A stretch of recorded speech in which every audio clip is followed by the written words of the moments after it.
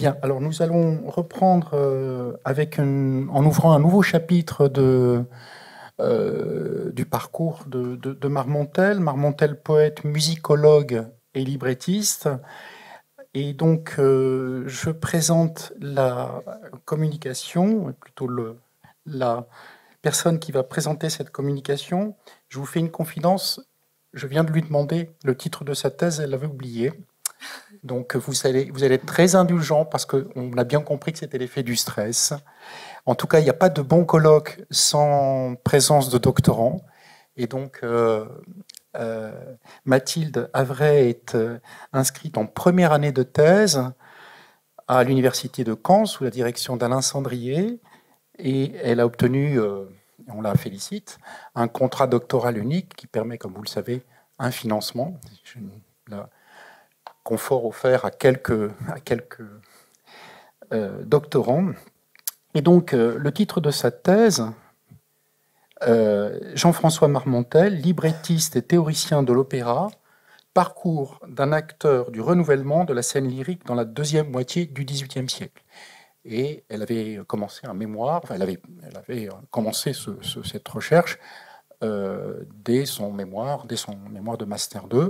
Par ailleurs, Mathilde est aussi euh, musicologue. Euh, elle, est instrumentiste. Elle fait du violoncelle, elle joue du violoncelle. Voilà.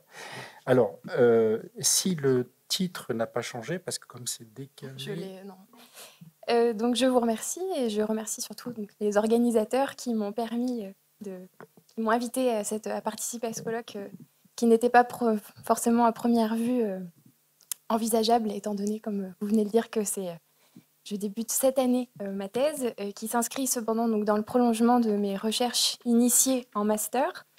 Euh, recherches qui m'ont permis, donc, ces deux dernières années, de mettre en lumière une des principales caractéristiques du travail de librettiste de Marmontel, à savoir le souci de l'équilibre, qui passe donc par une esthétique de l'hybridation.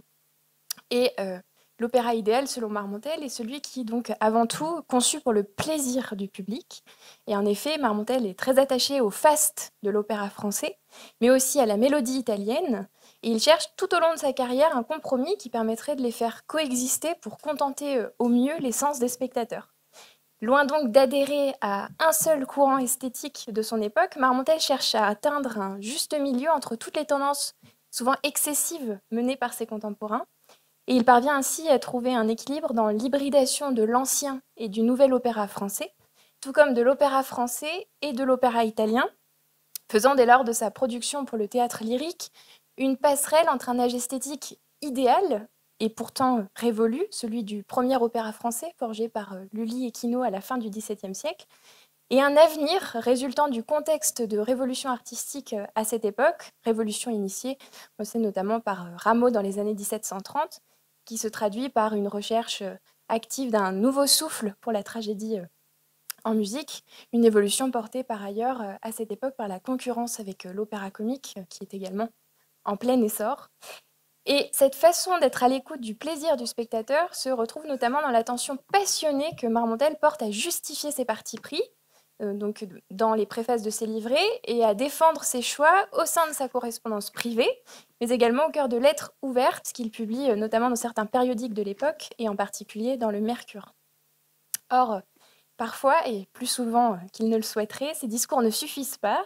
il se voit contraint pour certains de ses livrets d'opérer des modifications, voire d'amples retranchements, pour répondre aux critiques du public et continuer de remporter l'adhésion de celui-ci. Il faut euh, préciser avant toute chose que euh, une des particularités du livret d'opéra se trouve notamment dans son caractère malléable.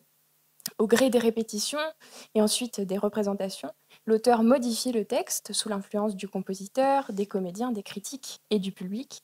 Euh, les différentes éditions des livrets ne fixent ainsi que des versions successives d'un ouvrage voué à évoluer.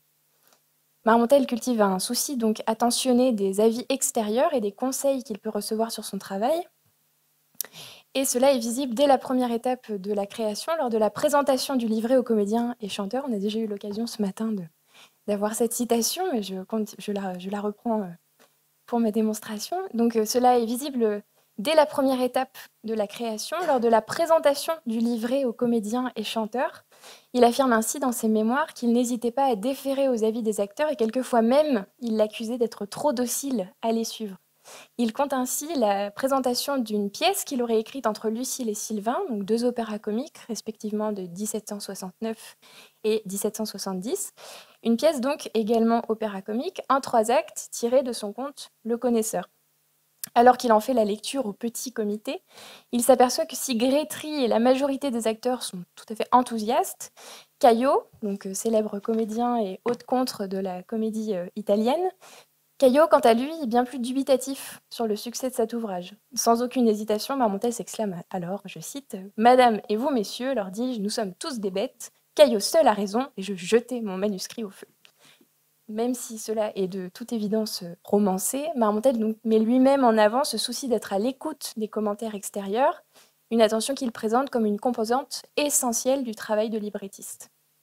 Je propose à l'étude aujourd'hui le cas des différents remaniements délivrés de deux tragédies lyriques, Attis et Pénélope, mis en musique toutes deux par euh, Piccini. Mais ces corrections au gré des remarques et retours du public s'observent bien sûr pour d'autres livrets, et notamment des livrets d'opéra comique. Prenons donc tout d'abord le cas euh, d'Attis, une tragédie lyrique qui est en fait une adaptation par Marmontel du célèbre livret de Quino, un remaniement donc, qui sera, je l'imagine, amplement étudié par euh, Anthony Saudré euh, tout à l'heure dans sa communication.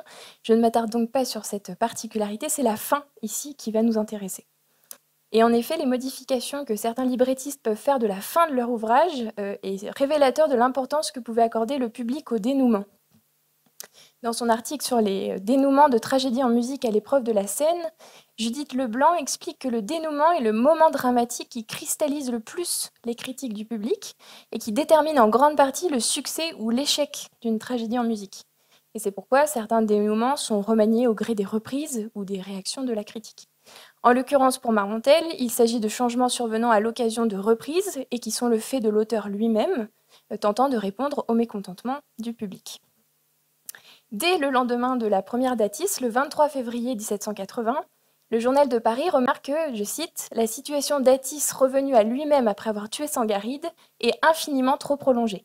On a pensé que ce n'était pas la marche naturelle d'un grand désespoir.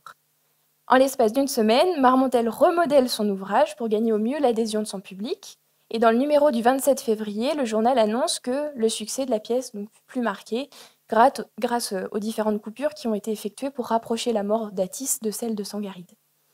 Pourtant, et malgré ces légers retranchements, euh, l'absence de divertissement associé au tragique absolu que fait régner Marmontel dans le dénouement de son livret, respectant ainsi le choix que faisait Quino, qui donc faisait mourir les deux amants, euh, ce dénouement n'est pas bien reçu. Dans le livret de Quino, donc de 1676, Cybèle provoque la folie d'Atis, qui tue de ses propres mains sa bien-aimée Sangaride, et qui le transforme alors en pain. Quino opérait déjà un changement par rapport au Midovidien par l'effacement de l'acte de castration d'Astis, euh, dans un souci de bienséance, et Marmontel choisit de reprendre le dénouement de Quino en supprimant toutefois la métamorphose finale. Le Mercure du 4 mars 1780 trouve, je cite, que le seul reproche qu'on puisse faire au troisième acte est de finir tragiquement. Mais avec un peu moins de sévérité sur les bienséances théâtrales, il serait bien facile de contenter ceux qui demandent qu'on dissipe par des danses la tristesse inévitable au dénouement. Marmontel juge à propos, euh, lors de la reprise de janvier 1783, pour répondre au mécontentement du public, donc, de créer un dénouement heureux. Il met alors en scène Atis faisant le geste de se poignarder, arrêté par Cybèle qui, prise de remords, implore Pluton de ramener Sangaride à la vie. Sélénus pardonne à son tour et exerce la clémence, et l'opéra se close sur une marche des prêtres de l'hymen qui unissent Atis et Sangaride, comme vous pouvez le voir ci-dessus. Le thème de la vengeance est donc effacé au profit du développement de scènes touchantes et moralisantes où le bien et la vertu triomphent. Le journal de Paris constate alors que si les jeunes amants sont désormais rendus à la vie, on a, je cite, paru révolté comme aux premières représentations de l'atrocité de la vengeance de Cybèle. A contrario, Meister estime que c'est un nouveau dénouement qui, je cite, prépare une fête agréable et qui, sans avoir pu désarmer la critique de tous nos censeurs, paraît cependant le seul convenable et au sujet et au moment donné de l'action. C'est aussi l'avis du Mercure du 25 janvier 1783, comme vous le voyez ci-dessus. Mercure qui se charge par ailleurs de louer la complaisance de Marmontel envers son public. Marmontel, donc je cite, que l'on devrait plutôt remercier du soin qu'il a pris de se conformer en cette occasion au désir marqué du public. Et ce souci d'adapter son travail au retour des spectateurs s'observe également pour la tragédie lyrique Pénélope, donc euh, cette fois-ci entièrement de la plume de Marmontel. Face à l'échec cuisant de cet ouvrage, Marmontel opère de légers changements dès la deuxième représentation de janvier 86. Le Mercure du 7 janvier note ainsi que, je cite, un changement léger mais infiniment heureux dans le poème a concouru à ramener l'opinion publique sur cet ouvrage. Dans une lettre ouverte placée dans le Mercure du 21 janvier 86, Marmontel évoque en effet quelques rapides ajouts pour mieux convenir aux attentes. Il explique ainsi, je cite, Un reproche bien mieux fondé m'a été fait sur le peu d'attention qu'Ulysse donnait à son fils au moment où il le revoit.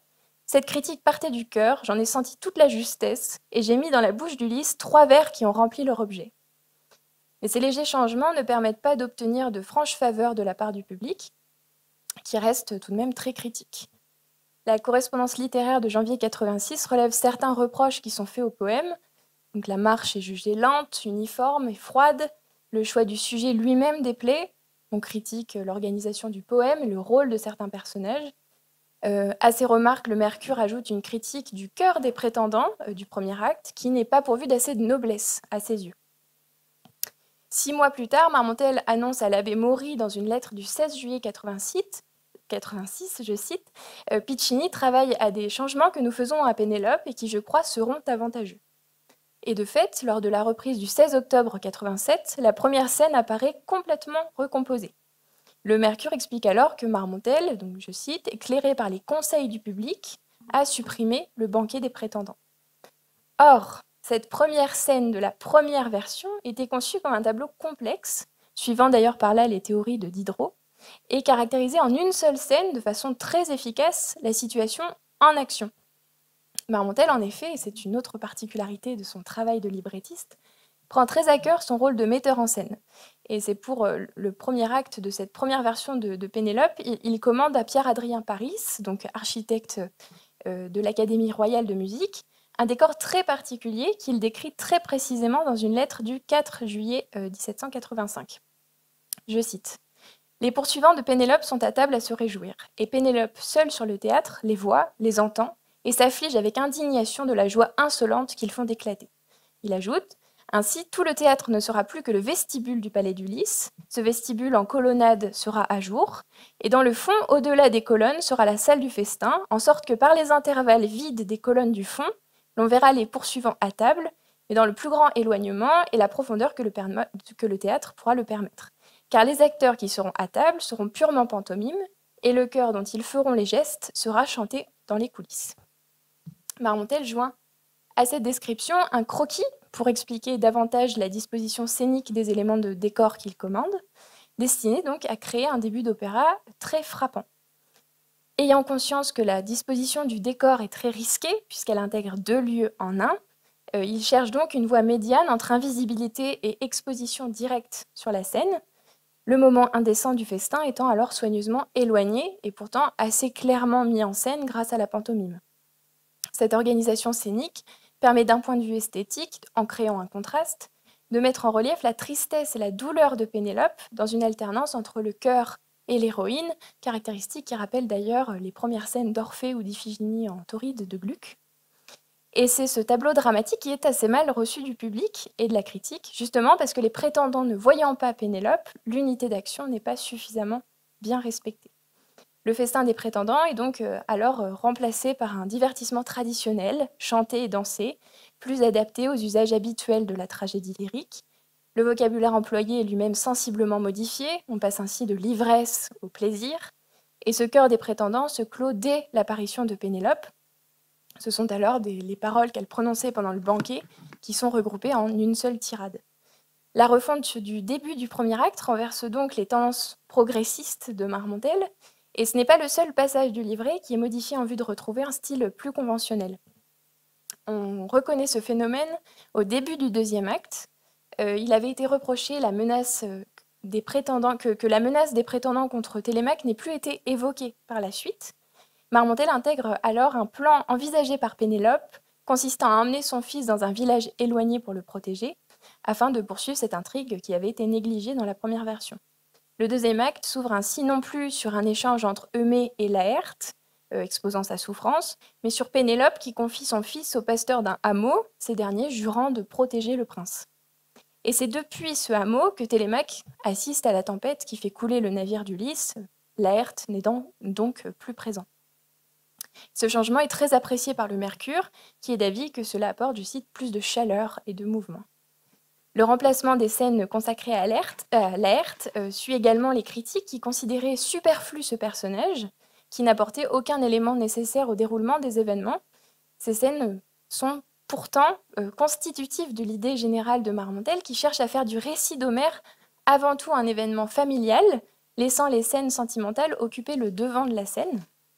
C'est un exemple parmi d'autres, mais le choix dans la première version de situer le deuxième acte chez le père d'Ulysse permet à Marmontel d'achever son tableau familial.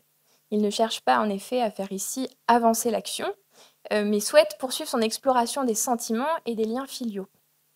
C'est ce qu'il explique euh, dans une lettre ouverte placée dans le Mercure du 21 janvier 86.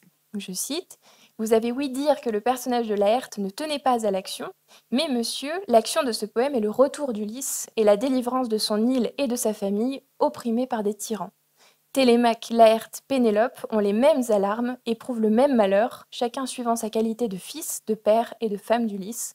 Comment l'un des trois serait-il plus épisodique que les deux autres? Leur fortune est invisible, leur situation commune, et c'est la plus parfaite unité d'intérêt.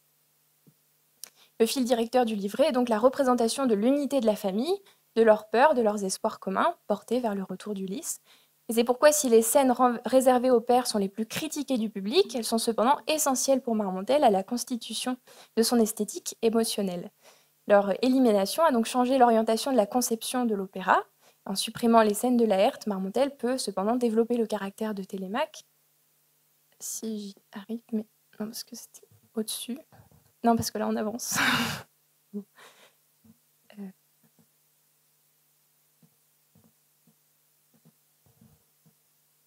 Excusez-moi. voilà et donc notamment dans son air ici en bas à droite, donc air de Télémaque, de la deuxième scène du deuxième acte qui met en avant et développe longuement le courage de ce jeune héros. donc, euh, la deuxième version s'enrichit également de nouveaux divertissements et de merveilleux. Dans la première version, un seul divertissement était prévu dans le deuxième acte, donc à la troisième scène, lors duquel les pasteurs dansaient pour fêter la nouvelle du retour d'Ulysse, le Mercure critiquait alors les ballets qui n'étaient pas très remarquables. Dans la version de 87, ce divertissement disparaît avec Laerte et un ballet est introduit alors à l'arrivée d'Ulysse, scène 5. Toutefois, alors que le ballet des bergers renforçait l'idée d'une intrigue sentimentale bourgeoise, ce ballet de nymphes introduit du merveilleux qui était auparavant tout à fait inexistant. Ce recours au merveilleux apparaît surtout à la fin, avec l'apparition du personnage de Minerve qui descend pour euh, louer les héros et les entourer des beaux-arts en l'honneur desquels se déroule le divertissement final. Le chœur final de la première version, chanté donc par Pénélope, Ulysse, Télémaque et Laerte, heureux de se retrouver chantant l'amour familial, est alors remplacé par un air euh, de Minerve assez court, comme vous pouvez euh, le constater ci-dessus. Ainsi, et alors que Didon, une tragédie lyrique de 83, euh, construite, de manière bien plus traditionnelle et qui est très appréciée du public, Marmontel cherche au contraire pour Pénélope à introduire des éléments novateurs, suivant les préceptes du drame bourgeois et le principe des scènes de tableau, et cet essai est bien plus mal reçu, l'obligeant à effectuer des retours à des formes plus conventionnelles. On peut donc constater au terme de cette rapide étude et à travers ces quelques exemples que Marmontel porte une attention toute particulière à son image de poète lyrique, à ses œuvres, ainsi et surtout qu'à leur succès. Il s'applique souvent, et c'est un aspect dont l'étude se révèle par ailleurs très intéressante, il s'applique à expliquer ses choix et tente de convaincre ses contemporains de la justesse de ses partis pris. Or, si le public reste résolument ferme sur ses positions, il n'hésite pas à adapter ses œuvres au goût et préférences de celui-ci, quitte à dénaturer ses poèmes en les amputant de ce qui faisait euh, finalement leur originalité, voire leur charme. Et euh, ainsi laisser apparaître une image moins victorieuse qu'il ne le souhaiterait de son œuvre et de son statut de librettiste, un statut, on le sait, très complexe à plusieurs niveaux et qui implique de conjuguer de nombreux facteurs à la fois, puisqu'il doit s'adapter à son public et aux attentes de celui-ci, mais également aux moyens dont il dispose, et notamment budgétaires, mais cela, c'est une autre dimension et une autre recherche. Je vous remercie.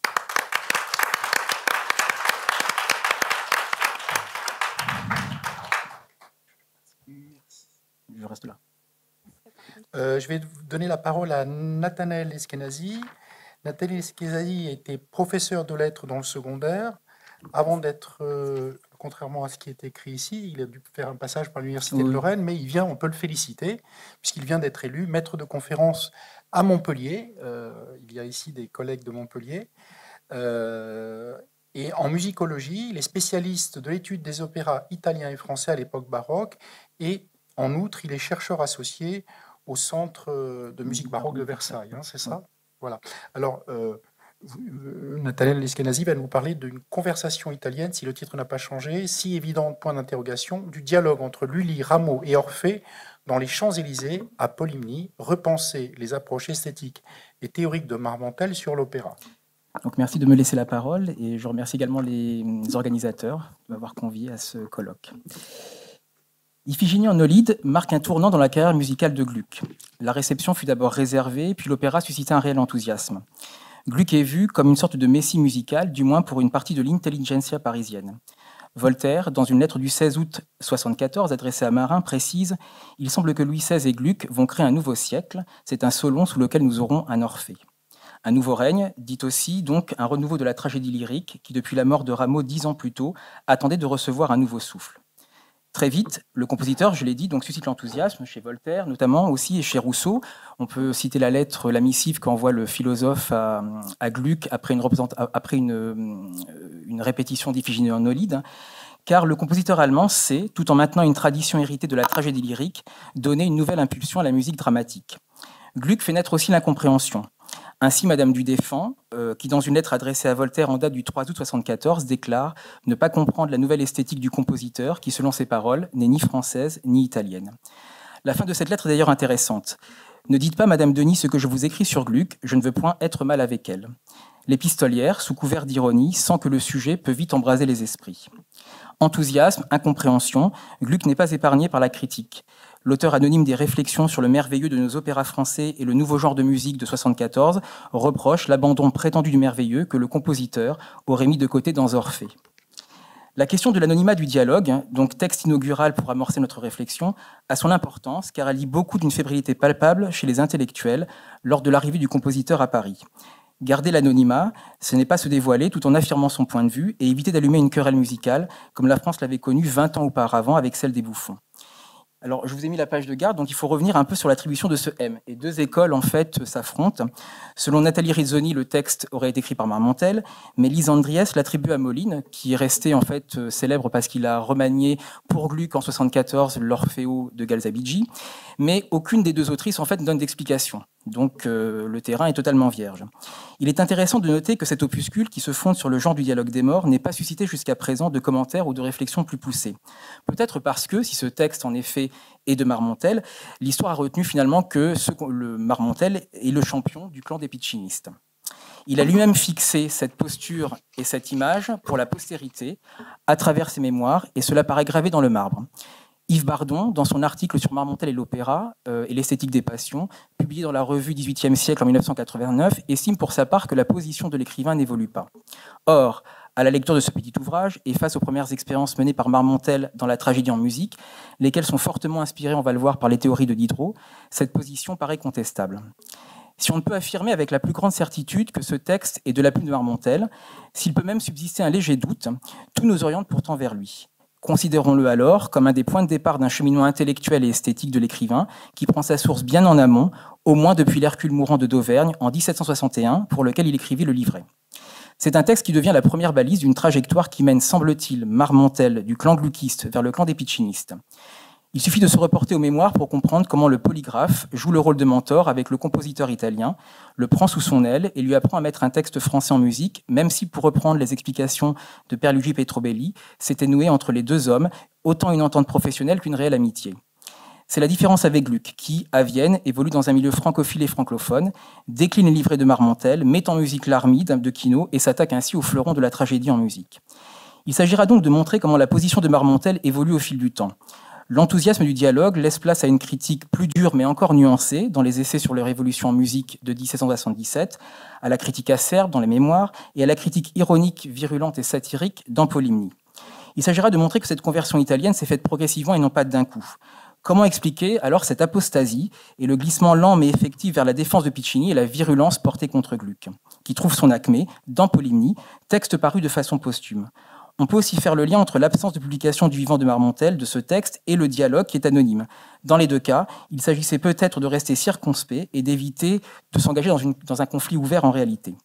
Par ailleurs, ce glissement n'est-il que le fruit d'une réflexion et d'une prise de conscience esthétique Peut-on y voir aussi une forme d'opportunité et de revanche qui permettait à Marmontel de rétablir sa réputation d'homme de théâtre grâce au genre noble de la tragédie en musique et de se présenter comme le rénovateur de celle-ci, entrant ainsi en concurrence directe avec Luc Enfin, un élément a priori anecdotique, mais qui a son importance, et je dirais même que c'est en fait capital. Voltaire et Rousseau meurent en 1778 à euh, trois mois d'intervalle au moment où la querelle des gluckistes et des pitchinistes atteint son acmé. Ces deux disparitions n'ont-elles pas été aussi le point de bascule de Marmontel, qui trouvait là le moyen de se désolidariser du clan des philosophes, acquis pour bon nombre à la cause de Gluck, permettant à l'écrivain de se singulariser pour faire entendre sa propre voix, discordante et dissonante pour un clan, consonante pour un autre, dans la croisade esthétique qu'il menait. Et donc j'ouvrirai mon exposé par le dialogue, convertir en douceur et avec raison. Le texte est bref, à peine une trentaine de pages, précédé par un avertissement. C'est par celui-ci que je souhaiterais donc ouvrir la présentation du dialogue en montrant qu'il se fonde sur un paradoxe. La musique de Gluck a fait sensation, mais n'a pas forcément obtenu tous les suffrages attendus. Néanmoins, l'ensemble de ses mérites est reconnu par les véritables amateurs du musique, au, au nombre desquels se compte, nous dit une note, Rousseau. Alors là, on peut être étonné, de, cette référence à Rousseau, puisque dans les mémoires, Marmontel l'égratigne quand même. Cela dit, je fais l'hypothèse suivante, il me semblerait que Marmontel reprend à son compte des propos élogieux concernant le citoyen de Genève qu'avait émis Gluck dans le Mercure de France en février 73. On peut donc se demander légitimement si Marmontel, avant d'écrire le dialogue, et pour nourrir son point de vue, n'a pas eu connaissance de cette assez longue lettre, parue quelques mois avant l'arrivée de Gluck à Paris, dans laquelle d'ailleurs ce dernier prône l'abandon, dit-il, des ridicules distinctions de musique nationale entre musique italienne et musique française, pour arriver à un compromis, celui d'une musique universelle. C'est bien comme homme des compromis d'ailleurs que se présente l'auteur du dialogue. Il refuse d'opposer Rameau et Lully, mais veut les associer par leurs talents respectifs, tout en cherchant à se prémunir contre les attaques pouvant venir des clans des deux compositeurs. Les admirateurs de ces deux compositeurs ne manqueront pas de crier au blasphème, dit-il. Un dogme musical se verrait battu en brèche par la musique de Gluck, à une ancienne religion succéderait une nouvelle, un monde musical, euh, monde musical ancien céderait le pas à un monde musical nouveau, Gluck apparaîtrait donc comme une sorte de providence musicale et son œuvre comme un nouvel évangile porteur d'une parole lyrique nouvelle à tel point que l'on voit dans les partisans de Gluck une sorte de secte, comme le souligne le rédacteur du petit ouvrage Le tolérantisme musical, paru en 79, sous le nom de Mehmet Strider, mais qui, selon une étude récente de Beverly Gerald, serait peut-être de la main de Diderot. D'une certaine manière, Marmontel, s'il s'agit bien de lui, récemment converti à la religion gluckiste, va lui-même prôner le nouveau dogme aux réticents, mais sans le marquer par un zèle trop appuyé. Au contraire, il faut agir avec raison et modération. En nous attachant à la plus exacte impartialité, nous tâcherons de faire convenir les adversaires de M. le Chevalier Gluck de sa supériorité sur Lully et sur Rameau. Persuadé passe donc par un prêche très clairement affirmé qui amène lentement mais sûrement les derniers récalcitrants à Gluck à se convertir et donc à se tourner vers sa musique. Le dialogue se divise en deux grandes parties qui rappellent deux scènes de théâtre ou d'opéra. Une première scène marquée par l'échange entre Rameau et Lully, un interlude qui annonce l'arrivée d'Orphée, puis une seconde scène dans laquelle Orphée, Rameau et Lully dialoguent. Les arguments d'Orphée sont de deux ordres. Iphigénie en Olide retrouve les accents de la grande tragédie grecque passée par le filtre racinien, tout en ayant, je cite, élagué les scènes superflues et resserré l'action du dramaturge français. Mais c'est surtout la musique qui prend part à ce renouveau. La grandeur et le sublime tragique s'y trouvent soulignés par la force et la chaleur, ce qui a permis, je cite, d'en augmenter l'intérêt sans en affaiblir les beautés.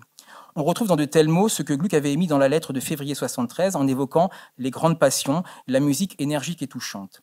Marmontel, si c'est bien lui, insiste notamment sur les chœurs qui prennent vie et sont en action, rappelant ainsi que le librettiste Bailly du Roulet et Gluck ont retrouvé l'essence même du cœur de la tragédie antique pour revenir à une forme de vraisemblance qui prétendument manquait aux opéras de Lully et Rameau. Il est néanmoins troublant qu'il ne soit fait aucunement référence à des passages chantés, récits et airs. Il ne faut peut-être pas voir dans cette absence une hésitation à évoquer l'esthétique du chant de Gluck, ce qui allait par la suite devenir le cheval de bataille de Marmontel. Les arguments sont probablement plus pragmatiques. Tout d'abord, la forme du dialogue des morts impose une certaine longueur et doit resserrer le propos. Ensuite, il y a une véritable mise en scène du personnage d'Orphée. Celui-ci donne la partition de l'Iphigénie à Lully Rameau et les laisse juges de l'ensemble de l'œuvre.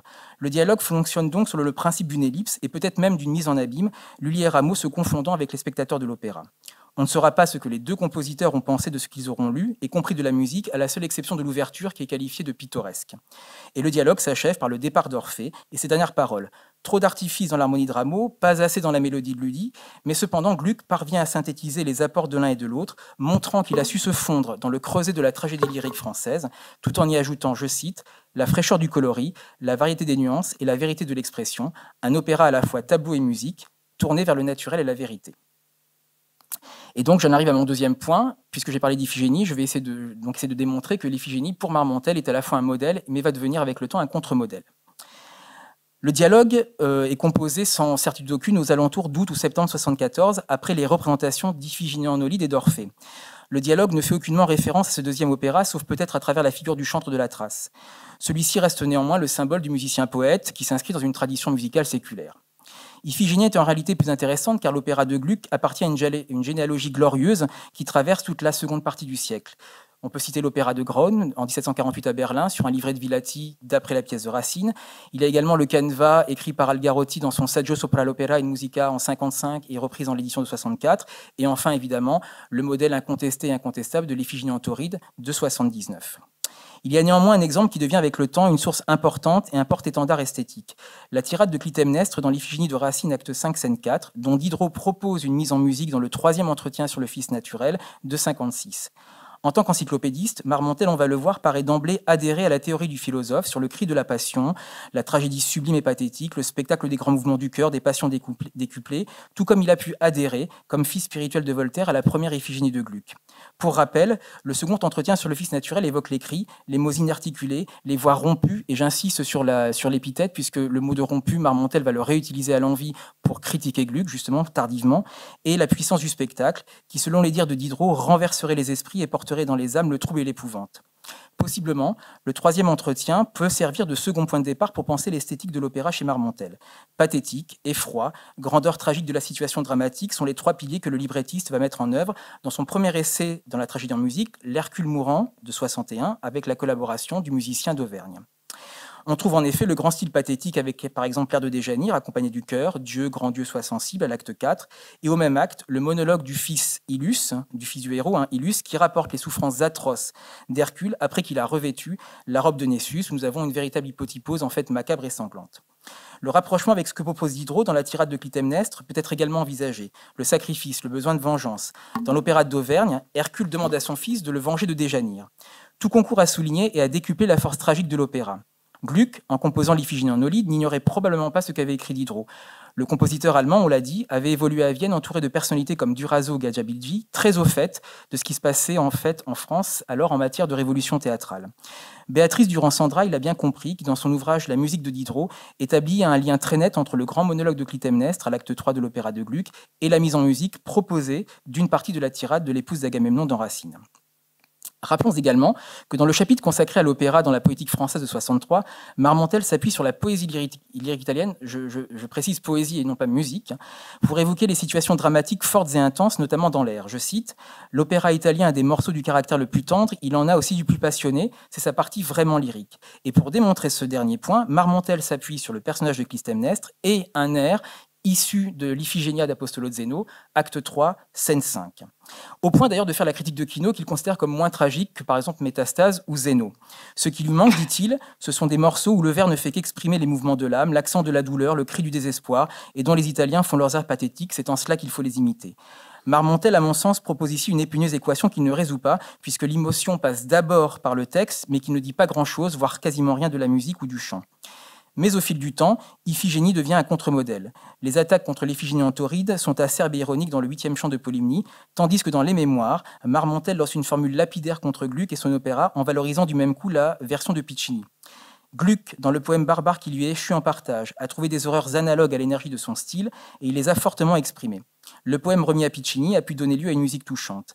Marmontel, on le voit, oppose énergie et touchant. Il les dissocie, pour ne pas dire qu'il les clive, et reprend à son compte ces termes que Gluck avait assemblés. Je vous rappelle la citation musique énergique et touchante. L'énergie, étymologiquement, c'est l'énergaia, c'est-à-dire la, force de l'action, le pouvoir, la puissance. Or, je pense que ces deux termes n'ont pas le même sens chez l'un et chez l'autre. Marmontel, comme Gluck, envisage chacun leur manière de réfléchir à la puissance de la musique et plus généralement de poser la question du style. Pour Gluck, il s'agit d'ébranler, de provoquer une commotion chez le, spectateur, chez l'auditeur, en l'émouvant très puissamment, lorsque Marmontel, on peut le supposer, entend conserver finalement une forme de tempérance et de pondération. Et donc la question esthétique de l'expression des passions et de leur rendu musical à travers le chant, dont le terrain avait été euh, déjà labouré, mais sur un, sur un mode plus philosophique par Yves Bardon, devient progressivement le cœur de la pensée de l'auteur. C'est probablement cela qui amène l'écrivain à critiquer, puis à attaquer Gluck et peut-être à renier ses premières impressions favorables. Et donc ma troisième partie, que j'ai intitulée Marmontel, partisan modéré ou apostat zélé. Rappelons d'abord que l'écrivain se présente comme un homme des synthèses. Pour lui, l'opéra est une combinaison entre le système de Quino, imprégné de merveilleux, et la mélodie italienne, fluide, coulante, méliflue. Paradoxalement, l'écrivain, on l'a vu, bien qu'il fasse l'éloge des airs italiens, condamne le système dramaturgique du drama per musica, dans lequel il ne voit qu'une tragédie dénaturée. Il le dit explicitement dans l'article opéra dans les éléments de littérature ils, les Italiens, donnèrent la préférence à la tragédie dénuée de merveilleux. Or, je soutiens qu'au lieu de l'embellir, ils ont gâté la tragédie.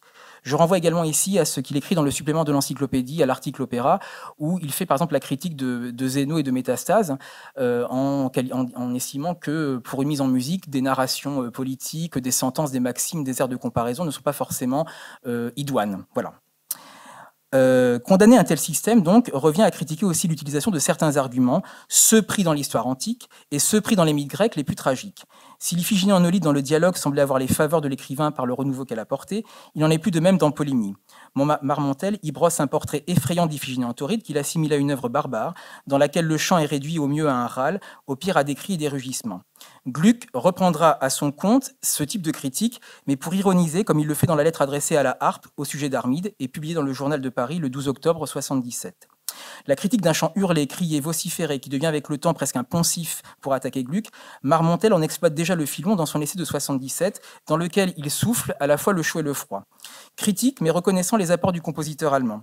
Ce dernier y est vu comme le rénovateur de l'opéra italien. Il avait donné, dit-on, à l'opéra italien la forme de l'opéra français, pris ses sujets dans la mythologie, fait usage du merveilleux et ajouté à l'intérêt la pompe du spectacle et l'agrément des fêtes. Ce passage est d'autant plus intéressant qu'il montre que le compositeur est l'homme des synthèses, des rapprochements, des connivences entre deux genres, entre donc le drama musical et la tragédie lyrique, et pourrait apparaître comme un double voire un possible allié de Marmontel. Pour reprendre ce que dit Andrea Fabiano, il y a une volonté très nette de faire du couple Marmontel Marmontel Piccini, pardon, un miroir, miroir Gluck dans cette tentative de réforme de l'opéra, dans laquelle le librettiste tient un rôle majeur, comme d'ailleurs le reconnaît le compositeur allemand dans la lettre au Mercure de France de février 73. Or, c'est sans compter, le choix de, sans de Gluck de faire sans l'écrivain, dont il refuse de livrer, donnant lieu, on peut le supposer, à une forme de ressentiment chez Marmontel. 1777 marque aussi un tournant important dans la carrière du compositeur allemand à Paris et qui allait certainement cristalliser les antagonismes. On reprend l'armide de Quino, dont le texte de lui n'a de texte de Kino pardon, n'a quasiment pas été retouché, avec une musique entièrement nouvelle de la main de Gluck. Qu'un compositeur étranger, de surcroît allemand, pu mettre en musique euh, l'armide de Kino, en fait, est, considéré par, par les anti-gluckistes comme une véritable déclaration de guerre. Alors on observe dans l'essai de 77 un changement stratégique qui permet à l'écrivain d'aiguiser sa critique. Pour Mamontel, il y a d'abord une question de réception du public. Celui de l'Académie royale de musique, n'étant pas habitué au charme de la mélodie, ne pouvait être que séduit par le style vocal du compositeur allemand. Pour Marmontel, la question esthétique est indissociable de celle du plaisir de l'écoute. Il retourne donc l'argumentaire esthétique en avantageant le clan des Italiens et en insistant sur le fait que le théâtre de l'opéra doit être le lieu où l'on promeut le beau chant et la belle mélodie. Il relativise aussi la position de Gluck dans le paysage musical français et européen. Il n'est peut-être pas vrai que ce soit le seul musicien de l'Europe qui sache exprimer les passions. Il n'est peut-être pas vrai, comme on voudrait nous le faire entendre, que la dureté, l'âpreté soient essentielles aussi de la bonne musique. Il n'est peut-être pas vrai que le chant rompu, terme qu'utilise Diderot, hein, euh, mutilé, soit le plus beau, le plus touchant modélisation et anaphore ont leur importance car elles soulignent la manière sensible mais effective dont Marmontel glisse peu à peu vers le camp des Italiens. L'argumentaire contre le chant rompu, mutilé, l'absence de rondeur et de pénitude de la voix devient avec le temps le fer de lance de l'écrivain.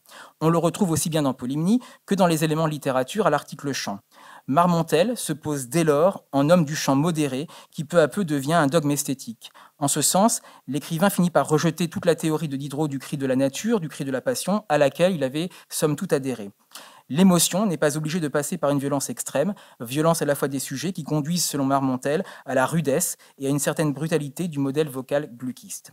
L'émotion peut être forte, mais il faut qu'elle reste, selon ses dires, agréable.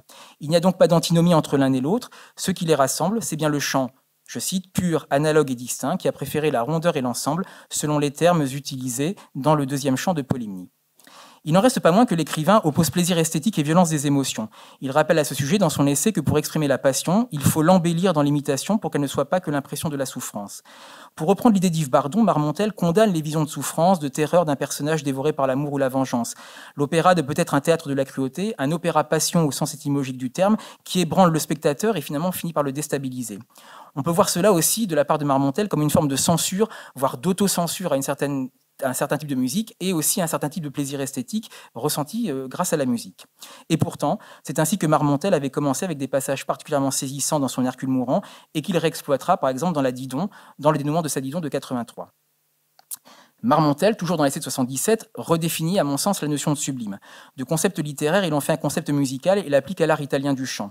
Ce sont des chants mélodieux, la, modulation facile et naturelle, une harmonie aussi claire dans sa force que dans sa douceur, la voix de l'âme elle-même. Marmontel réfute catégoriquement les accusations des gluckistes envers le clan italien. Succomber au charme de la musique italienne, ce serait provoquer sa perdition musicale. Le sublime musical est en réalité aussi une manière de redéfinir les frontières entre artificiel et naturel, vérité et exagération ou enflure. À la vérité gluckiste, Marmontel oppose donc sa propre vérité dramatique et musicale, pas de chant en poulet, pour reprendre les termes de l'écrivain, mais un beau chant capable par sa seule mélodie de générer les émotions. On voit donc de quelle manière l'écrivain part en croisade pour convaincre son lecteur. En réalité, le polygraphe a voulu laisser à la postérité l'image d'un homme fortement engagé pour Piccini, et c'est aussi ce que le courrier littéraire de 77 précise en parlant, je cite, du zèle de M. Marmontel dont l'ardeur est infatigable. Mais ceci ne serait-il pas simplement une posture? Les mémoires font peu référence à Gluck et seul Polymnie en effet se présente comme une attaque frontale et véhémente. En réalité, Marmontel serait peut-être plus l'homme de la pondération, de la modération et de la circonspection. En ce sens, l'essai de 77 peut nous sembler le plus représentatif de la véritable pensée de l'écrivain. Voir ce qu'il y a de remarquable chez Gluck, tout en pointant les prétendus défauts, et en laissant également la porte ouverte à d'autres compositeurs pour créer une saine émulation, Donnons-lui des rivaux dignes de l'égaler dans la partie où il se distingue et dignes de le surpasser dans celle où il n'excelle pas. Et donc, en conclusion, j'ai tenté de montrer que cette position de Marmontel n'a donc cessé d'évoluer. Je pense qu'elle montre aussi ses paradoxes, peut-être même ses contradictions, lesquelles symbolisent néanmoins une pensée et une réflexion dans une dynamique permanente qui pousse l'écrivain à assumer et à faire des choix. D'après Andrea Fabiano, Marmontel ne connaissait que peu la musique italienne, seulement par des fragments entendus ça et là. Ce qu'il a appris d'elle, c'est le contact avec Piccini qui le lui a donné, ainsi que sa lecture des œuvres de Métastase qu'il adapte dans les dernières années de sa carrière. Peut-on estimer que le grand style tragique de Gluck et sa réforme ont totalement été bannis de l'esprit de l'écrivain? Le terrain sur lequel se battait Marmontel concernait tout autant la question finalement de l'évolution d'un genre que la question stylistique. Il semble, contrairement à ce que Marmontel voudrait nous faire croire, que le passage de Gluck ait laissé une trace durable chez lui et probablement chez Piccini. Dans le dernier acte de la Didon de 83, mise en musique par le compositeur italien, et dont le livret prend pour partie appui sur la Didonée Abandonata de Métastase, on distingue nombre d'éléments que l'on aurait pu retrouver chez Gluck. Harmonie et parcours tonal qui génèrent un grand et sublime pathétique, un style particulièrement déclamatoire, théâtral et vigoureux, notamment pour Didon, héroïne qui, dans ses imprécations contre rappelle les imprécations d'Armide contre Renaud, une absence aussi de tout ce que Gluck a combattu au nom d'un chant naturel, à savoir le style vocal fleuri, la vocalise, sans compter les interventions chorales idoines au nom de l'action dramatique. Enfin, contrairement à ce que l'on pourrait croire, et le dénouement de Didon en est la preuve, Marmontel, en nous faisant assister au suicide de la reine de Carthage sur scène, lequel se trouve aussi dans le livret de Métastase, ne renonce pas à une certaine grandeur, voire une violence tragique que, que Gluck avait aussi cultivée. Peut-être fallait-il le départ du compositeur allemand pour que Marmontel et Piccini puissent montrer toute l'envergure de leur talent dans un opéra j'allais dire de synthèse, alliant force dramatique du sujet et beauté d'un chant hautement expressif. Je vous remercie.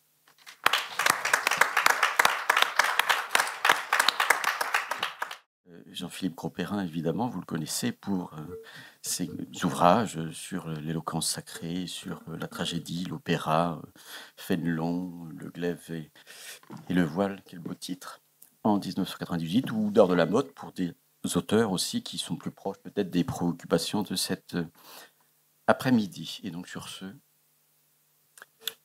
Merci. Euh, le, titre a changé, il est euh, ah. moins long et moins vague surtout.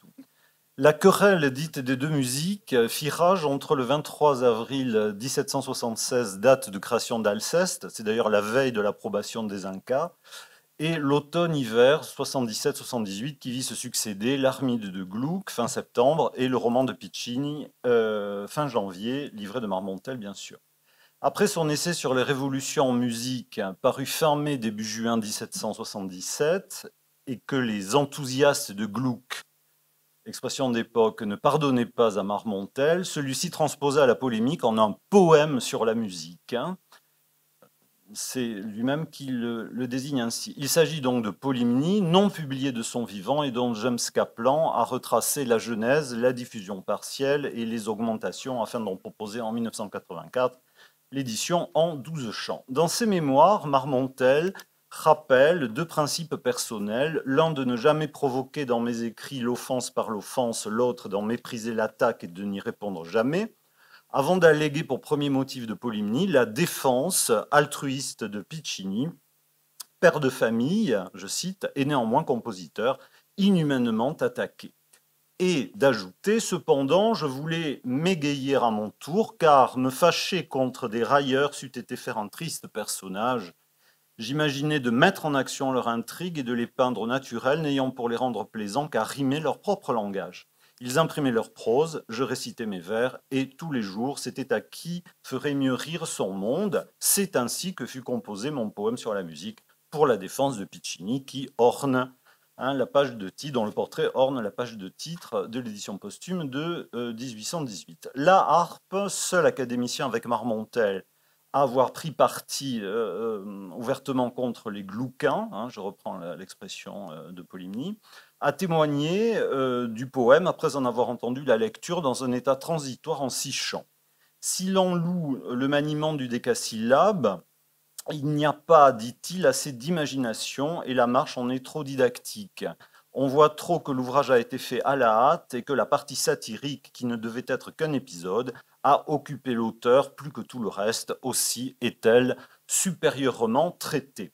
La dominante polémique met certes en vedette une représentation satirique des gens de lettres, gens à intriguer à cabale, sots critiques se mêlant d'esthétique musicale ou artistes opportunistes, avec pour cible première les deux, les deux turiféraires de Gluck, très actifs par voie de presse, que furent Suard et surtout l'abbé Arnaud, alias dans le poème Finon et Trigot.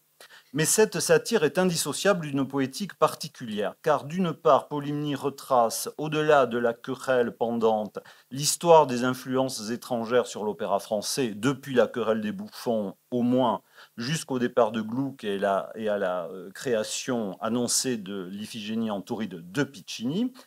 Et le poème intègre des éléments de théorie esthétique en rapport avec les réflexions euh, théoriques de Marmontel euh, par ailleurs.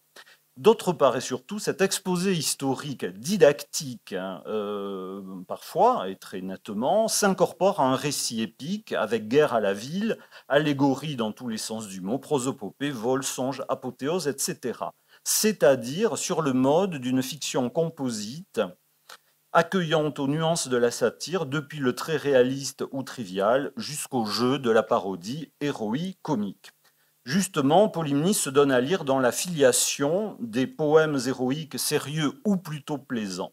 Sans remonter aux usages de lourd, rappelons la Dunciade de Palissot, hein, l'édition augmentée en, 1777 et contemporaine, s'attire des sauts avec développement poétologique, dont Marmontel était justement, hein, dans la Dunciade, le héros exprès, chef du stupide empire.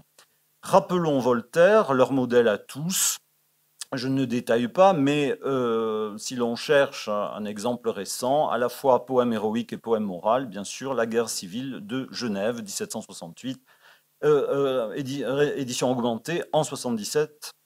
Dans La guerre civile de Genève de Voltaire, donc Jean-Jacques, le roux Rousseau, est à coquiner avec sa vachine, à la fois gaupe, mégère, ménide, horrible harpie. Ce sont des citations, bien sûr. Nulle vachine chez Marmontel, mais mieux et plus la fée Mélusine, exogène dans la contexture fabuleuse de l'Olympe et du Parnasse, dont procède En revanche, son antagoniste Polymnie, muse de l'opéra italianisant, l'opéra où l'on chante vraiment, et protectrice consolante de Piccini persécuté. Il n'est pas question ici d'étudier dans leur étendue les accommodations opérées dans Polymnie entre polémique sur le théâtre musical, économie de la satire et parodie héroïque comique. Il y aurait beaucoup à dire. Le ton de la satire y est composite, hein, combinant précisément hein, euh, des euh, traits euh, proprement héroïques comiques et des mots bas, hein, un bestiaire s'y montre, un corbeau, araignée, crapaud de la verne dans un bourbier, comme chez Voltaire euh, jadis, Blue qui paraît sous diverses formes, terribles ou familières, euh, celle d'un charlatan euh, par exemple. Examinons un aspect restreint qui touche à la mise en œuvre ou en action des voix, hein, c'est ce que je vous propose d'observer, à la fois dans le recours à la fiction polyphonique, point de rencontre entre satire et épopée de toute façon, hein, structurellement pourrait-on dire, et dans la représentation obsédante des cris, hein, les revoilà, crier, hurler, vociférer, euh, voilà en effet le point crucial où s'allient les bruits amis de la satire, l'éclat dérivé de l'épopée également, et le débat esthétique sur les opéras de Gluck. Alors, comme j'ai euh, prévu quelque chose de trop long, je vais passer très rapidement sur la première partie. Donc, il y aura deux points. Hein. Je passe très rapidement sur des euh, questions de polyphonie. Hein. vous me pardonnerez de ne pas proposer euh, tous les exemples, ils étaient pourtant tous, me semble-t-il, intéressants. Alors, dans Polymnie, la voix octoriale prend des formes intermittentes, souvent indirectes, bien loin de s'afficher ostentatoire, comme dans la, comme dans la Dunciade de Palissot, par exemple. Le poème de Marmontel foisonne de discours directs qui sont certes facteurs d'animation, mais surtout ingrédients de l'ironie dans la satire. Procédé bien connu depuis Boileau, le discours prêté à tel personnage discrédite son locuteur et depuis Voltaire, on déforme un propos pour le mettre dans la bouche du personnage cible. La polyphonie, assurément, est une arme au sein d'une rhétorique de la fiction. Peu importe alors que les personnages soient fabuleux, Polymnie Mélusine, fabulés, Trigo, euh, caricature de l'abbé Arnaud donc, ou véritable, Gluck, Piccini, Duni Ils sont toujours forgés pour les besoins du poème, simultanément épique et satirique, de sa visée aussi bien judiciaire qu'épidictique. Les voix des personnages s'assimilent de fait à des prosopopées, hein, c'est ce que je, propose de considérer hein, euh, de, manière euh, systématique compte tenu du contexte polémique prosopopée puisqu'elles émanent d'autant de masques dans la scénographie du poème. La prosopopée permet d'abord de figurer la querelle sur l'opéra en conflit d'allégories à qui Marmontel prête un ton généralement élevé, pas toujours cependant. Et donc là, je, désigne bien sûr Polymnie et Mélusine, et là, je passe aussitôt une page. Avec Trigo, la prosopopée surexpose les traits disqualifiants et cumulatifs qui nourrissent la satire. Vanité d'auteur, pédantisme hellénophile, prétention à se faire le mentor des musiciens, Douni, Rameau, Grétry, etc., ou des peintres d'ailleurs, Vanloo par exemple, et bien sûr chef tyrannique d'un clan, enfin et c'est très important, agent du fanatisme. Il ne s'agit pas alors de monologues, mais de paroles étalées pour impressionner la locutaire, hein, selon les, moments où euh, Trigo euh, prend la parole. Dénoncer l'intrigue ennemie du talent, tel est le propos de Marmontel, appelle de mettre en scène cette euh, pragmatique du discours.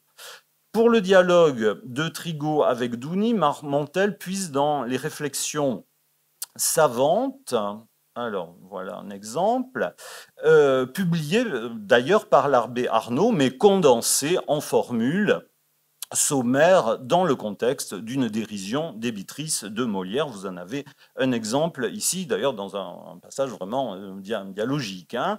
Euh, c'est le, moment où Trigo rend visite à Douni. J'ai beaucoup lu Denis d'Alicarnas et je compose un ouvrage excellent sur l'anapeste. Bon, ce n'est rien et quand ma voix tonnante mugit du grec, du grec Assurément, je parle grec comme Feus Ganarelle parlait latin.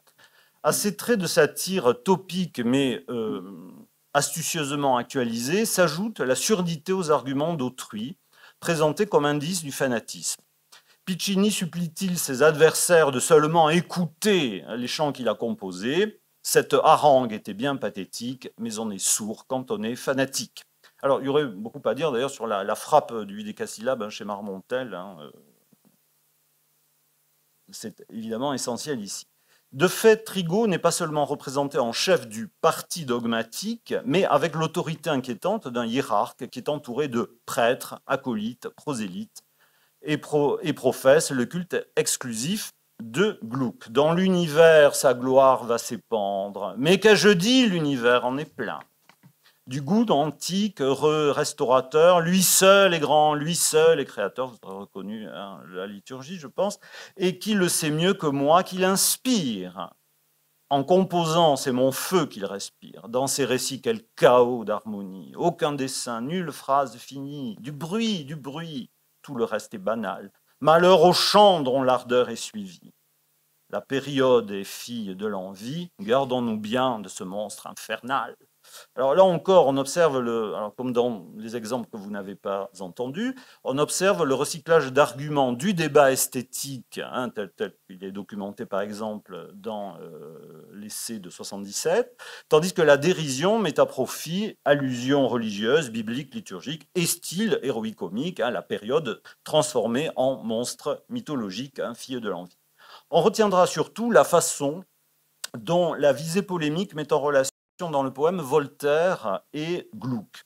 À la fin du chant 4, Polymnie, faisant route de l'Italie vers Paris, fait halte chez le vieillard des délices. Or, la prosopopée de Voltaire, faisant autorité, consonne avec les positions esthétiques de Marmontel. Il s'agit de s'inspirer de l'opéra italien sans les excès virtuoses favorisés par le règne des castrats, mais surtout de conserver à l'opéra son caractère hédoniste de fête, son enchantement musical, euh, Marmontel dit ailleurs sa magie, sa diversité, hein, les gradations du clair-obscur hein, dont il est question dans l'essai.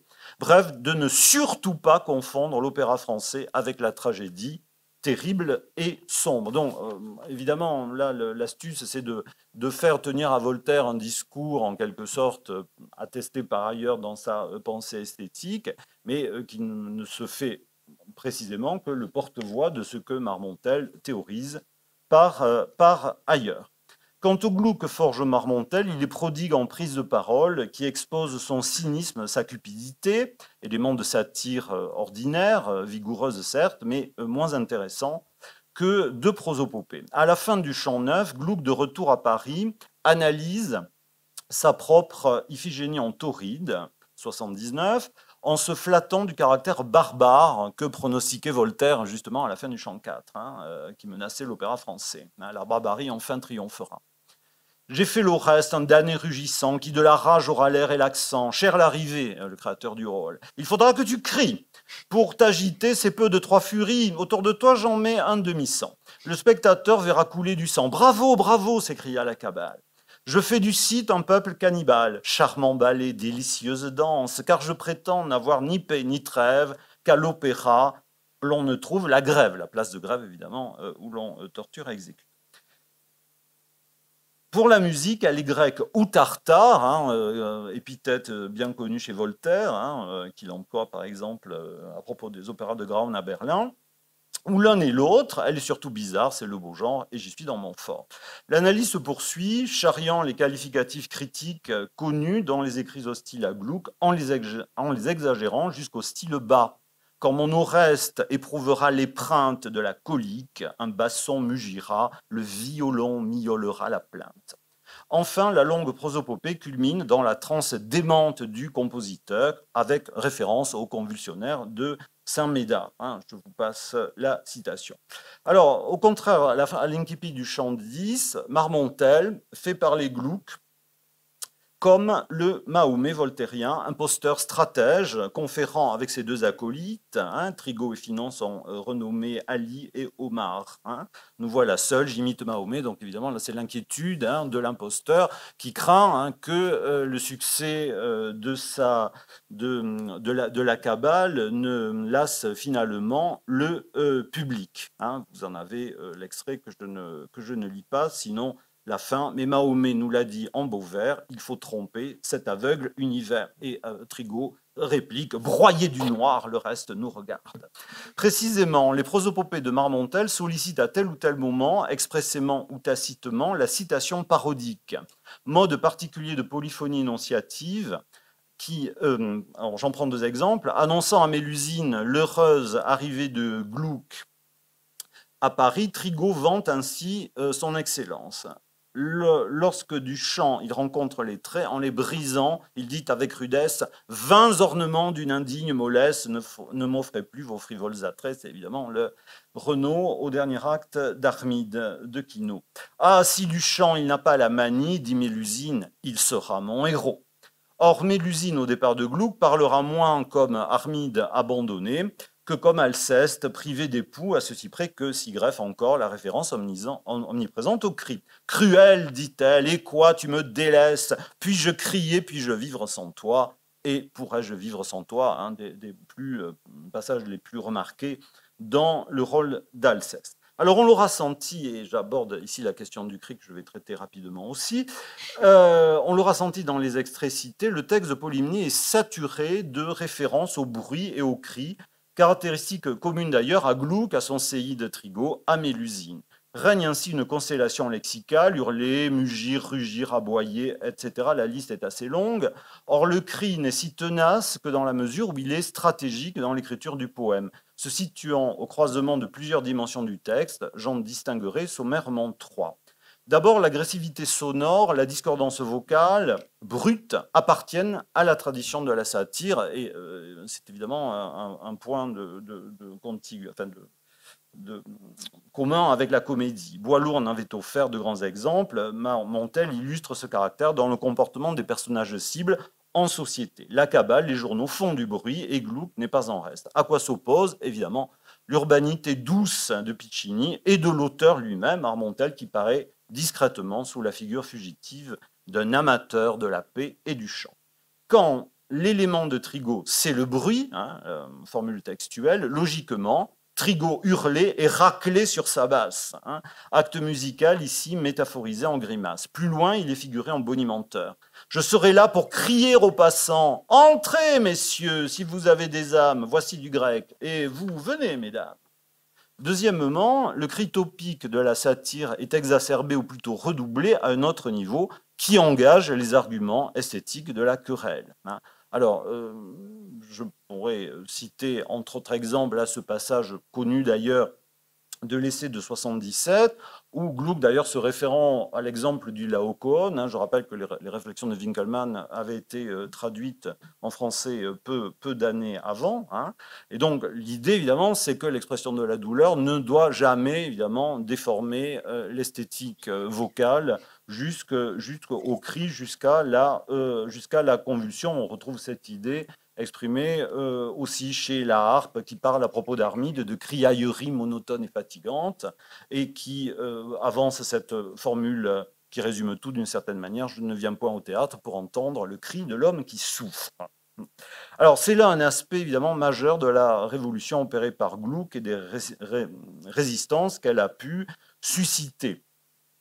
Troisièmement, enfin, euh, et c'est euh, un aspect, je crois, euh, très important, la connivence du cri des clameurs avec l'univers de la poésie épique. Hein, en, fait partie. Alors, on en aurait des exemples, évidemment. Là, je me pardonnerai de ne pas les citer non plus aussi bien dans l'Ariade que dans euh, La Pucelle ou la guerre civile de Genève, pour, pour s'en tenir à, ces, exemples. Or, euh, euh, cet élément demeure, mais il est en quelque sorte déplacé ou recyclé ici dans une version parodique. C'est là, je crois, une des vertus du poème de Polymnie. La figuration des cris il satisfait simultanément le trait satirique, l'argument esthétique dans la querelle, l'argumentation esthétique dans la querelle et la fantaisie épique. Obséder le poème de Cri, c'est en somme faire coup triple en mettant ces trois niveaux en relation. Alors, je n'ai pas le temps de... Alors, vous en avez un premier exemple ici. Hein, là, pour retenir uniquement un élément, l'usage hein, d'un trait, d'un stylème de l'épopée, à savoir l'anaphore hein, emphatique, qui euh, sert à euh, euh, caricaturer l'esthétique musicale d'Iphigénie en, en olide. Hein. Il fit beugler, il fit hurler, il fit ronfler l'orchestre, puisqu'évidemment l'orchestre ici entre également en jeu. Le personnage de Mélusine, de ce point de vue-là, est une, euh, euh, oui non pas ça, euh, est une trouvaille. Je n'ai pas le temps de détailler non plus. D'une part, les, enfin quand même un peu. D'une part, les cris horribles de la fée du conte, hein, que vous connaissez tous, annonciateur de malheur et de mort, pouvait connoter la tragédie et personnifier le genre à la tragédie en musique, hein, et en même temps d'une manière non classique hein, et inattendue.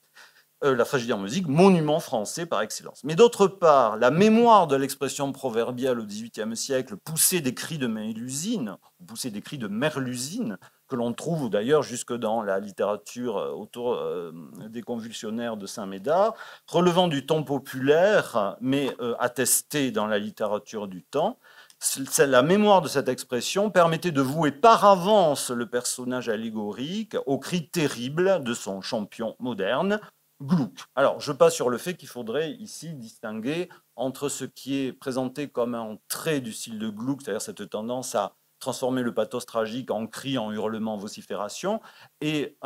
une, qualification plus ancienne de l'interprétation de la tragédie en musique en France comme urlo francese. Hein. on cite toujours, et on a raison, l'exemple de la sophonisba de euh, Traet à, Mannheim en 1762, où dans la partition, le compositeur indique à un moment urlo à la francese. Donc indique à l'interprète, la soprano, qu'elle doit sur un mot pathétique, une exclamation, donc introduire un élément que nous dirions presque expressionniste, hein, euh, qui n'apparaît pas comme tel dans le livret, mais qui est noté dans la partition. C'est donc bien qu'il y avait dans les modes d'interprétation, bien avant l'arrivée de Gluck à Paris, hein, euh, dans ces, pics de pathos, déjà cette tendance à frôler hein, ce qui peut s'apparenter à un cri. Alors simplement dans la satire, euh, Mélusine apparaît donc comme une sorte de melpomène frelaté, hein, euh, nouvelle furie mais aussi dérisoire. Elle a une torche en résine. Gluck raccompagne rue Saint-Nicaise au, magasin des accessoires de l'opéra. Donc elle est à la fois épouvantable, elle crie, hein, je vais crier, crier comme une folle, crier au feu, crier qu'on me viole. Hein etc. Donc le motif est évidemment exploité euh, de manière très, très, très large et, récurrente, mais de telle sorte que... On n'est pas du tout dans le cas de figure, si vous voulez, des allégories comme la discorde et la chicane, qui aussi hurlent les cris dans le lutrin de Boileau, mais qui gardent d'une certaine manière leur dignité du grand genre. Ici, on est en quelque part entre le théâtre de la foire, la caricature, et quand même tout l'imaginaire de la furie, euh, de la furie incendiaire, qui euh, là aussi fanatise euh, des acolytes qui vont brûler devant l'opéra l'effigie de Jean-Jacques Rousseau sous forme de, euh, mannequin. Alors, une scène pour terminer, euh, burlesque cette fois, et qui est la, la source d'une des illustrations de l'édition posthume de 1818, quand Trigo prétend faire éclater la bombe, hein, euh, Dixit, en convertissant le public français à l'opéra nouveau. Un cri sauvage, un hurlement funeste, un bruit horrible, enfin le bruit d'Alceste. Voilà vos chants, fiers enfants des Gaulois. Et voulez-vous consulter la nature sur l'énergie et la beauté du son? À la tournelle, allez prendre le son, vous entendrez le cri de la torture ou la tournelle où on arrache les dents. Hein, il s'agit, ancré dans la topographie du Vieux Paris, de l'opérateur toscan, arracheur de dents, maniant le pélican. Hein, désolé pour ceux qui ont été chez le dentiste récemment. Hein.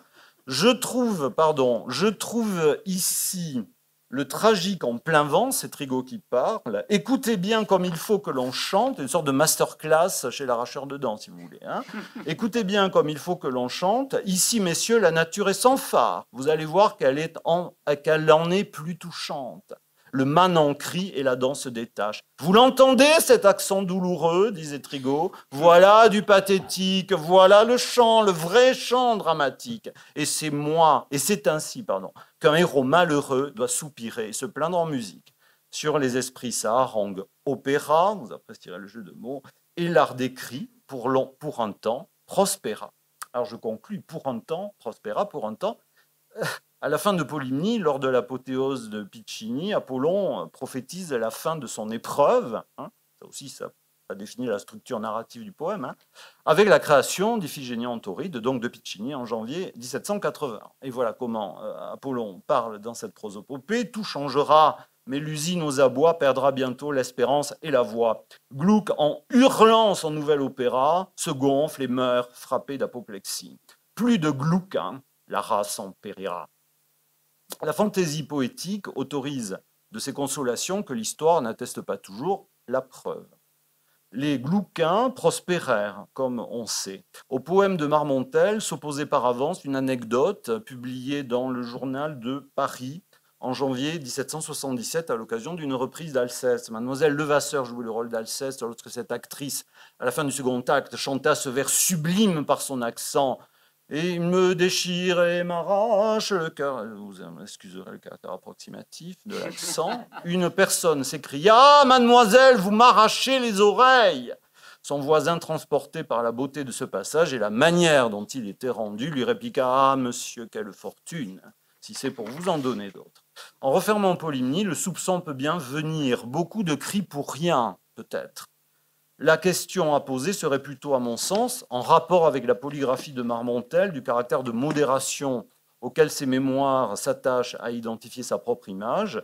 Ce satiriste ou pamphlétaire, malgré lui, ne trouvait-il pas, dans les hybridations diverses de Polymnie, l'illustration d'un talent qui, pour une fois, n'édulcore pas ou pas grand-chose hein?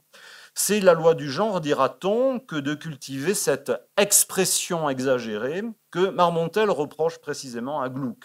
Mais dans la plasticité polyphonique, stylistique qui est la sienne, ce poème entre histoire, satire, épopée, finesse parodique témoigne de la fécondité heureuse de la satire en vers, en frayant une voix qui n'est pas entièrement redevable à Voltaire, c'est ce qu'il faudrait montrer précisément, bien sûr.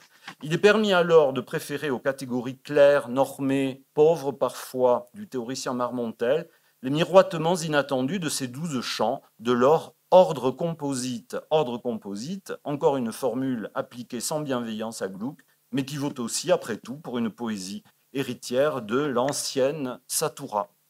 Merci de votre attention.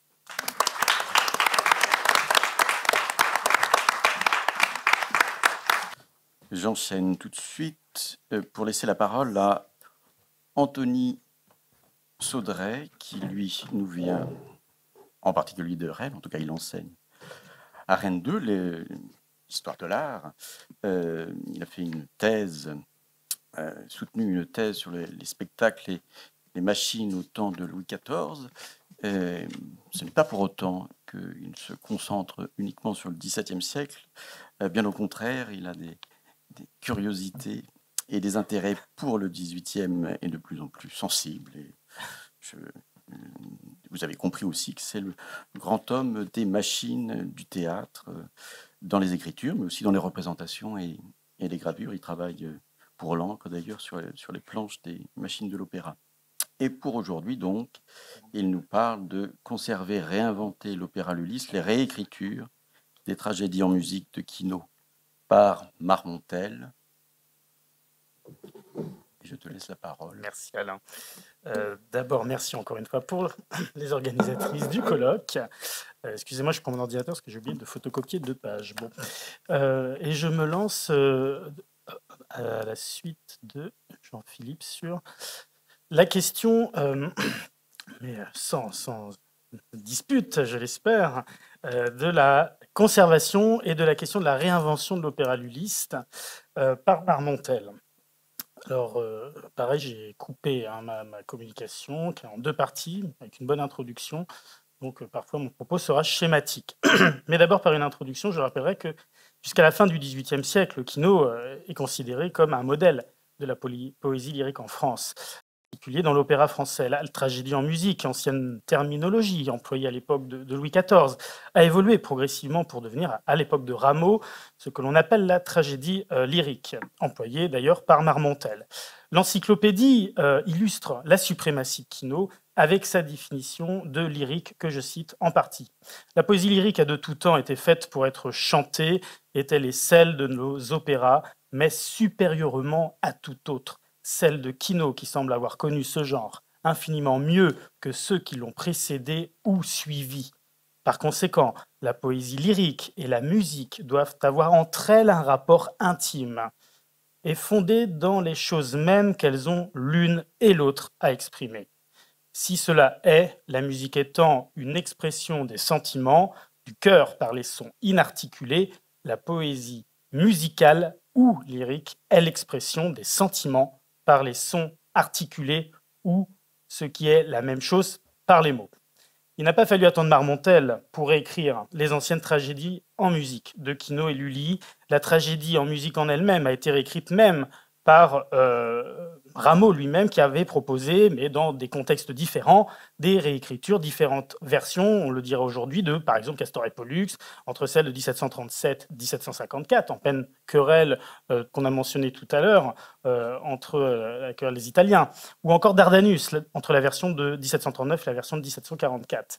Surtout parmi les évolutions notables entre l'époque de Lully et celle de Marmontel, je n'en prendrai que deux, se trouve d'abord, premièrement, la suppression pure et simple du prologue à partir de Zoroastre, une tragédie lyrique de Rameau sur un poème de Louis de Cahuzac, est représentée pour la première fois à l'Académie royale de musique le 5 décembre 1749. La deuxième évolution, et celle-ci m'intéressera davantage, c'est la plus importante à mon, à mon sens, fut la remise en cause progressive du récitatif. Sur ce point, la définition de l'encyclopédie illustre les difficultés du récitatif français tel que Lully et Quinault l'avaient inventé, par rapport à la langue italienne. Le propos exprime toutefois la volonté des Français de conserver le récitatif à la française inventé par Quinault, je cite. Récitatif, substantif masculin en musique, est une manière de chant qui approche beaucoup de la parole. C'est proprement une déclamation en musique, dans laquelle le musicien doit imiter autant qu'il est possible les inflexions de voix du déclamateur. Ce chant est ainsi nommé récitatif parce qu'il s'applique au récit ou à la narration et qu'on s'en sert dans le dialogue. J'ai coupé la citation. Le récitatif n'est pas moins différent chez ces deux nations que le reste de la musique. La langue italienne, douce, flexible et composée de mots faciles à prononcer, permet au récitatif toute la rapidité de la déclamation. Ils veulent d'ailleurs que rien d'étranger ne se mêle à la simplicité du récitatif et croiraient le gâter en n'y mêlant aucun des ornements du chant. Les Français, au contraire, en remplissent le leur autant qu'ils peuvent, leur langue, plus chargée de consonnes, plus âpre, plus difficile à prononcer, demande plus de lenteur, et c'est sur ces sons ralentis qu'ils épuisent les cadences, les accents, les ports de voix, même les roulades, sans trop s'embarrasser si tous ces agréments conviennent aux personnages qu'ils font parler et aux choses qu'ils lui font dire. Aussi, dans nos opéras, les étrangers ne peuvent-ils distinguer ce qui est récitatif et ce qui est air avec tout cela, on prétend en France que le récitatif français l'emporte infiniment sur l'italien. On y prétend même que les Italiens en conviennent, complètement exagéré, et l'on va jusqu'à dire qu'ils ne font pas de cas de leur propre récitatif. Ce n'est pourtant que par cette partie que le fameux euh, Porpora s'immortalise aujourd'hui en Italie, comme Lully s'est immortalisé en France. Quoi qu'il en soit, il est certain que d'un commun aveu, le récitatif français approche plus du chant et l'italien de la déclamation. Que faut-il de plus pour décider la question sur ce point? Ces propos tenus dans l'encyclopédie expriment non seulement la volonté de conserver l'ancienne tragédie en musique, mais également l'obligation de réinventer l'écriture du récitatif et de l'opéra lulliste en général. Je rappellerai qu'en 1770, l'inauguration de l'opéra royal de Versailles pour euh, le futur Louis XVI et de Marie-Antoinette s'est faite par une représentation de Persée, qui était un opéra créé par Lully et et pour la première fois le 18 avril 1682. C'est un opéra connu qui a connu de nombreuses reprises. J'en cite quelques-unes 1703, 1710, 1722, 1737 et 1746. Cette nouvelle version de 70 sans prologue euh, réduisait déjà le nombre de vers, tout en conservant une partie du poème original. Joliveau avait réécrit le livret de Quinault. Le spectacle ne comportait plus cinq, mais quatre actes. La musique de Lully fut quant à elle totalement réécrite par les compositeurs d'Auvergne, Rebelle et Bury. Cette nouvelle décennie, en somme, les, années 70, augurait, nous l'avons dit, donc je vais faire assez court, elle augure de nouvelles réécritures et, vous l'avez très bien dit, celle de l'Armide de Gluck euh, euh, est un défi puisque cet opéra a été totalement réécrit musicalement par Gluck, mais en conservant la quasi-totalité des mini-variantes du poème original de Quinault. Autrement dit, euh, Lully, c'est déjà, fini, mais la poésie de Quinault a une suprématie qui intéresse de surcroît Marmontel, qui, nous le savons, va se ranger du camp de Puccini. Gluck et Piccini vont à la fin des années 70, euh, proposer euh, deux versions, je vais le dire tout à l'heure, de Roland. Et euh, Armide, de toute évidence, amène une nouvelle époque, c'est-à-dire une concurrence pour la réécriture, mais aussi la conservation de l'opéra lulliste. Enfin, je rappellerai que le fait que Gluck connaît un échec avec la représentation d'Echo et Narcisse en 1779 amène peut-être à Marmontel à profiter de représentations, notamment d'Atis, beaucoup plus favorables puisque Gluck s'exile de France euh, en 1777. Ce qui m'amène à euh, aborder la réécriture plus précise de Marmontel. Avec Piccini, Marmontel réécrit plusieurs tragédies en musique de Quino et Lully. La première, c'est Roland, euh, joué pour la première fois à l'Académie royale de musique le 17 janvier 1777. Cette réécriture proposait une alternative à l'opéra gluckiste. Armide, dont on a parlé tout à l'heure, avec une musique plus italianisante. Après l'échec de Gluck, euh, Marmontel et Piccini collaborent de nouveau pour la réécriture d'Atis. Euh, il a été mentionné tout à l'heure et euh, créé au début de l'année 1780. Après la réécriture d'Atis, Marmontel décide d'arrêter sa collaboration avec Piccini et collabore avec Philidor, dont je ne parlerai pas, mais il propose une nouvelle version de Persée, précisément le 24 octobre 1780. Et il reviendra de nouveau avec Piccini pour la création de Didon en 1783. Au total, Marmontel réécrit trois anciennes tragédies de Et Lully. Mais nous savons que ses ambitions étaient plus grandes et Bufford Norman, le grand spécialiste de Kino, mentionne des projets de réécriture. Il y a des hypothèses, en particulier euh, de tragédies en musique qui sont Isis et Phaéton. Mais euh, bon, ça reste à l'état d'hypothèse. Concernant ce travail euh, de réécriture, il convient d'abord de rappeler l'immense admiration que Marmontel éprouvait pour Quinault, et je le cite. Quinault était l'un de mes poètes les plus chéris, sensible à l'harmonie de ses beaux vers, charmé de l'élégante facilité de son style. Je ne lisais jamais les belles scènes de Proserpine, de Thésée et d'Armide, qui ne me prit envie de faire un opéra, non sans quelque espérance d'écrire comme lui. Vaine présomption de jeunesse, mais qui faisait l'éloge du poète, qui me l'inspirait, car un des caractères du vrai beau, comme a dit Horace, est d'être en apparence facile à imiter et en effet inimitable. Par la réécriture d'Atis, Marmontel nous donne quelques renseignements sur le travail entrepris, en particulier ses ambitions poétiques et dramaturgiques, mais on vient de l'apprendre aussi la question de la mise en scène. Le sentiment de ma propre faiblesse et la bonne opinion que j'avais du célèbre compositeur euh, qu'on m'avait donné dans Piccini me firent donc imaginer de prendre les beaux opéras de Kino, d'en élaguer les épisodes, les détails superflus, de les réduire à leur beauté réelle, d'y ajouter des airs, des duos, des monologues en récitatif obligé, des chœurs en dialogue et en contraste, de les accommoder ainsi à la musique italienne et d'en former un genre de poème lyrique plus varié, plus animé, plus simple, moins décousu dans son action et infiniment plus rapide que l'opéra italien. Le dessin dans l'esprit de Marmontel est clair. Conserver la poétique de l'opéra lulliste tout en réduisant le nombre de vers ou ce qu'il appelle resserrer le poème. Cette réécriture se voulait à la fois donc réformatrice et respectueuse.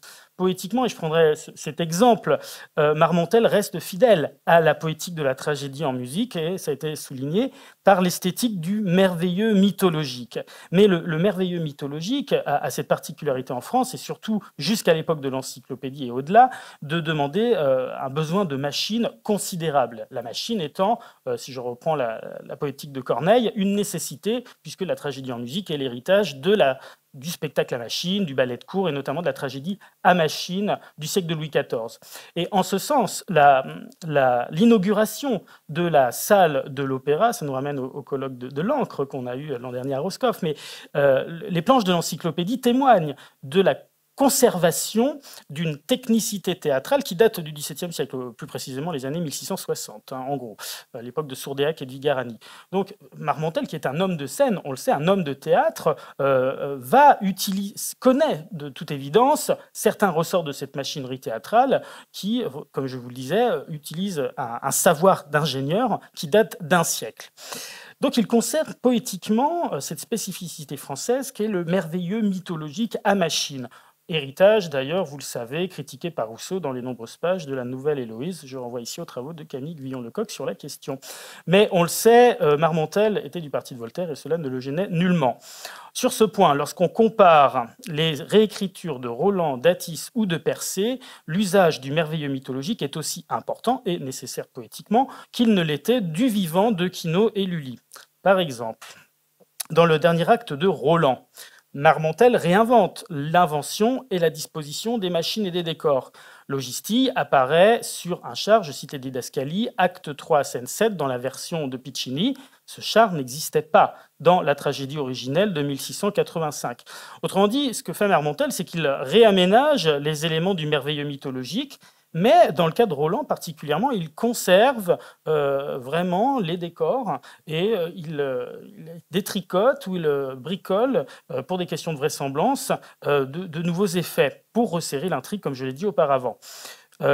si je prends l'exemple d'Atis, et ça a été souligné par Mathilde à l'instant, euh, la célèbre métamorphose d'Atis en pain, je cite à Didascali, Atis prend la forme d'un arbre aimé de la déesse Cybèle que l'on appelle pain, dans la version originelle de 1776, euh, est supprimée. Euh, la fin de l'opéra de 1780 n'utilise pas de machine au sens, n'utilise pas d'artifice pour une métamorphose considérée de toute évidence comme invraisemblable ou du moins non nécessaire sur le plan poétique et dramaturgique. Atis se contente de tuer Sangaride comme dans une tragédie régulière. Enfin, le chœur final qui accompagne euh, la mort hein, dans cette première version euh, de, de, Sangaride et d'Atis euh, resserre considérablement ce qui, du temps de Lully, était une grande lamentation finale et spectaculaire et que Marmontel a resserré en diminuant euh, considérablement le nombre de vers. On est à hauteur de 70% de vers supprimés entre la version originale et euh, la, version 1780. C'est ce qui faisait le charme aussi de la de l'Atis de 1676, mais euh, de toute évidence, cette fin d'Atis, déjà critiquée au début du XVIIIe siècle et même déjà à la fin du XVIIe, de souvenir, n'était plus considérée comme, intéressante et lourde par définition. Concernant les décors, les restait la règle. Et euh, comme je vous le disais, la technicité du théâtre n'avait pas changé en gros depuis un siècle. Lorsqu'il le juge nécessaire, Marmontel essaye de conserver une partie des décors originaux. Entendons par là qu'on ne réutilise pas les décors d'il y a 100 ans. Les décors sont toujours euh, retransformés, brûlés, revendus. Enfin, voilà, c'est très complexe la, question des menus euh, plaisir et, la question notamment de, de, la commande, des décorations. Mais il y a une volonté de respecter, euh, et on le voit dans les didascalies, la, question de l'opéra original. Alors, je prends l'exemple de Roland, entre les deux versions de 85 et 77. Par exemple, l'acte 1 représentait chez Kino et Lully un hameau c'est la même didascalie pour la version de Piccini. Pour le deuxième acte, Marmontel reprend le décor de La Fontaine de l'amour au milieu d'une forêt, comme pour le deuxième acte de la tragédie en musique de Kino et Lully. Ce respect se poursuit, euh, bien que euh, Marmontel resserre l'intrigue. Il conserve par exemple le changement de décoration qui représente le port de mer, acte 2, scène 6, ce changement ayant lieu dans la version originale de Kino et Lully, acte 3. Pour le troisième acte, Marmontel reprend le décor du quatrième acte de Kino et Lully qui représentait une grotte au milieu d'un bocage. En revanche, Marmontel décide de ne pas changer la décoration, alors que cette décoration changeait à l'acte 5 de Roland pour représenter le palais de la fée Logistie. Marmontel décide donc de, ne pas transformer le décor, on n'a pas besoin d'être dans le palais de Logistie, une machine suffit pour la vraisemblance décorative euh, de ce merveilleux mythologique. Donc, globalement, si on regarde bien, si on compare bien, ne serait-ce que sur la question des machines, des décors, le dessin de Marmontel est vraiment de respecter euh, en grande partie l'opéra euh, de Lully. Ainsi, euh, c'est un exemple parmi tant d'autres, j'ai coupé, mais les réécritures de Marmontel, comme je vous le disais, diminuent considérablement le, le nombre de vers. Alors j'ai fait des comparaisons, et si je vous prends les exemples de Kino, pour Atis, on avait 100 1161 vers. Pour Roland, 1109. Euh, en moyenne, une tragédie en musique de Quino c'est 1000 vers. Alors, des fois, c'est moins. Par exemple, Armide, c'est l'un des poèmes qui comporte le moins de vers. Chez Quino, on est un peu plus de 800. Euh, avec des estimations que j'ai faites, mais elles sont plus précises, on a une diminution à à peu près 30% de vers qui ont diminué entre euh, Lully et l'époque de Marmontel. Euh, Dernière partie. Lorsque Marmontel réécrit Roland, euh, on est dans une époque que l'on a souligné, c'est la querelle entre les gluckistes et, les pitchinistes. On apprend par exemple par le Mercure de France que Gluck euh, gère l'Académie royale de musique comme jadis Lully et Rameau, je cite. Ainsi, Monsieur le Chevalier Gluck est en possession de la scène lyrique comme autrefois Lully et Rameau. Il n'a point le génie du premier, ni l'imagination du second, mais il entend mieux que ses deux prédécesseurs l'expression des sentiments pathétiques et la déclamation lyrique. Sa musique est plus théâtrale, son récitatif est plus vrai, plus débité, et ses effets d'orchestre ont plus de force et d'énergie. La réécriture de Roland s'inscrit donc dans cette fameuse querelle, on n'y reviendrai pas, euh, et le Mercure de France témoigne de la création de Roland euh, dans le 27 janvier 1778, je cite. L'Académie royale de musique a donné le mardi 27 janvier la première représentation de Roland, tragédie lyrique de Quinault, mais on ne parle pas de Marmontel, mise en trois actes avec quelques changements. La musique a été refaite entièrement par M. Piccini. Les changements ont eu pour l'objet de resserrer l'action du poème, d'en rendre la marche plus rapide et l'intérêt plus vif, de faire une coupe ou distribution des morceaux de chant plus favorables à la musique et de donner du aux nouveaux compositeurs des airs et des euh, morceaux de situation dans lesquels il put déployer avec avantage les ressources de son art et de son génie. Monsieur Piccini a parfaitement répondu dans cette nouvelle composition à l'idée que sa réputation, ses talents et ses succès avaient fait concevoir. Ce spectacle a été remis avec beaucoup de soins de dépenses et a fait honneur aux ailes et à l'intelligence de l'administrateur tout concours à lui assurer le succès de cet opéra.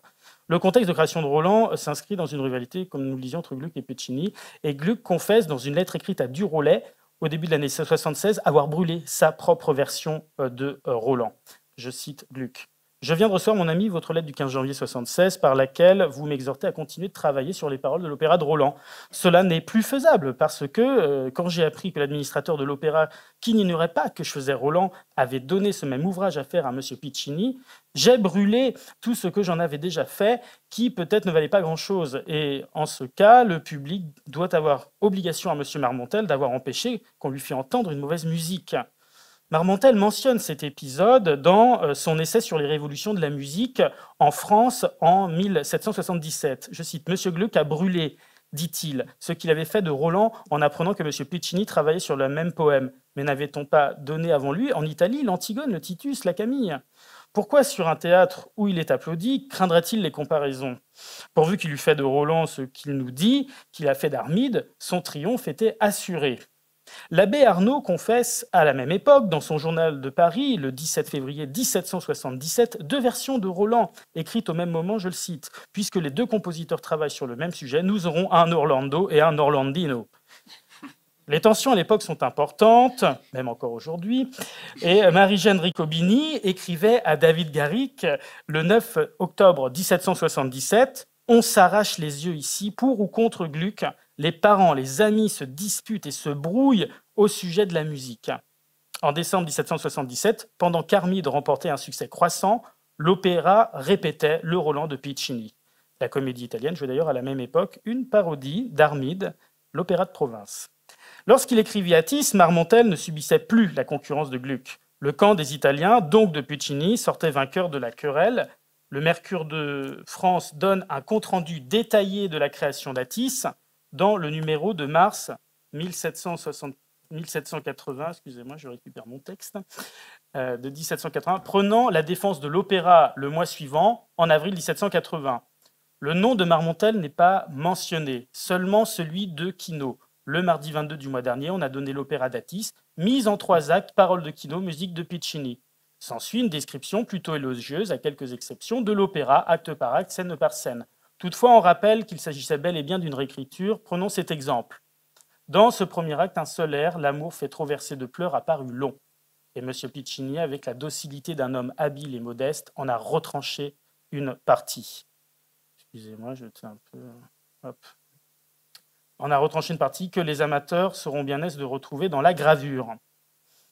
À la fin de son compte-rendu, le Mercure Galant rappelle l'importance d'Atis dans l'histoire de l'opéra français mentionnant implicitement le nom de Marmontel dans ce travail de réécriture qui, tout en réformant l'ancienne tragédie en musique, euh, souhaitait conserver l'essence même de ce spectacle. Je cite Le poème d'Atis est connu pour le plus intéressant des opéras de Quino. Un homme de lettres, en l'abrégeant, a pris soin de l'accommoder au génie et au caractère de la nouvelle musique. Et quoi qu'en disent les aveugles détracteurs, personne ne connaît mieux que lui, donc Marmontel, la structure des vers lyriques et l'art de couper la scène par des chants agréables. Personne n'a contribué davantage au progrès de la bonne musique en France. Le théâtre italien lui doit une grande partie de sa gloire. Notre langue, si rebelle aux mouvements et aux formes de la comédie italienne, est devenue sous sa plume aussi flexible, aussi douce que celle des Pergolèses et des Jomelli. En rendant compte de son travail dans le prochain Mercure, nous opposerons l'ancien Atis au nouveau. Le Mercure de France fera même des comparaisons hein, entre la de Quino et le nouveau de, de Piccini, afin de mettre le public à portée d'apprécier la mauvaise foi de ses détracteurs et de rendre enfin justice à son zèle et à son goût et à ses talents. Je termine.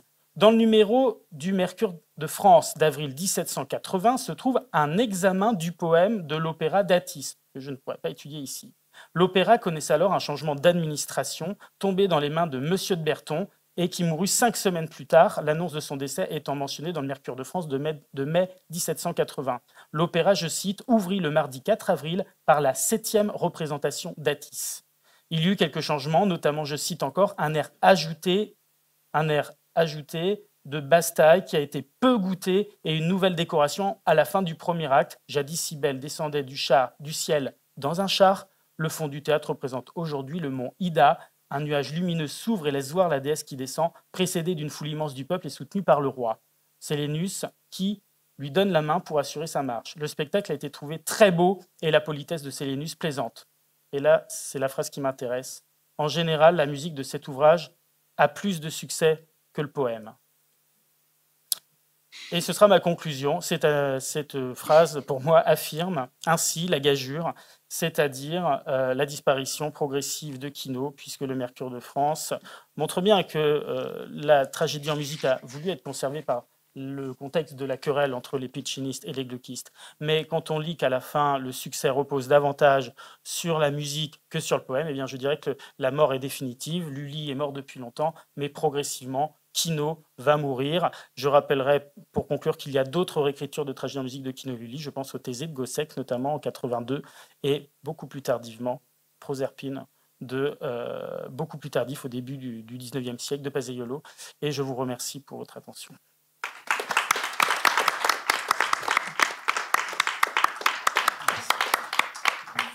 Aujourd'hui, alors j'ai pas la peine de présenter, sinon j'y perdrais trop de temps, euh, les activités et d'Hélène et du Julien, mais je dirais que ça se complète très bien pour le coup.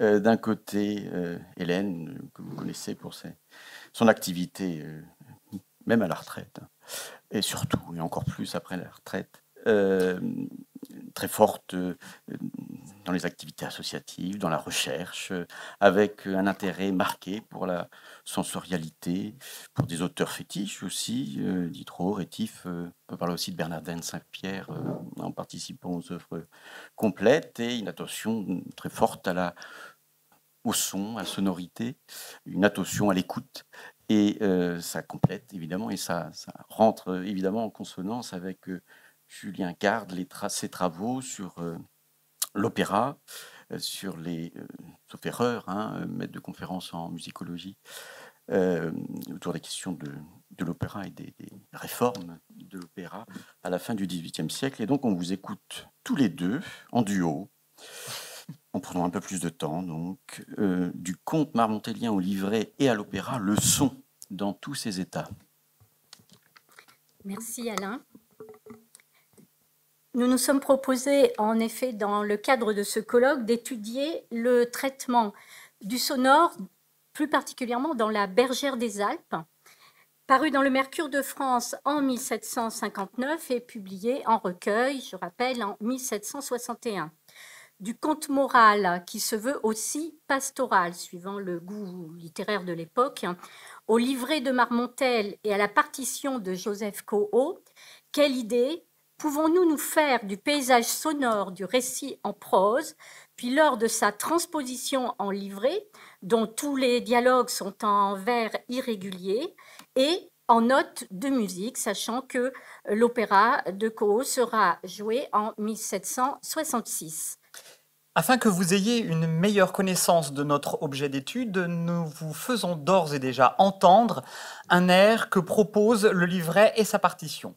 Il s'agit d'un chant de Jeannette, personnage qui ne figurait pas dans le conte et qui dans le livret forme avec Guillot, qui a vendu ses vêtements à Font-Rose, un second couple de bergers. Voici donc l'air Hélas quand il vint au village, interprété par notre collègue et soprane Patricia Rondet, qui nous a fait l'immense plaisir de travailler quelques chants.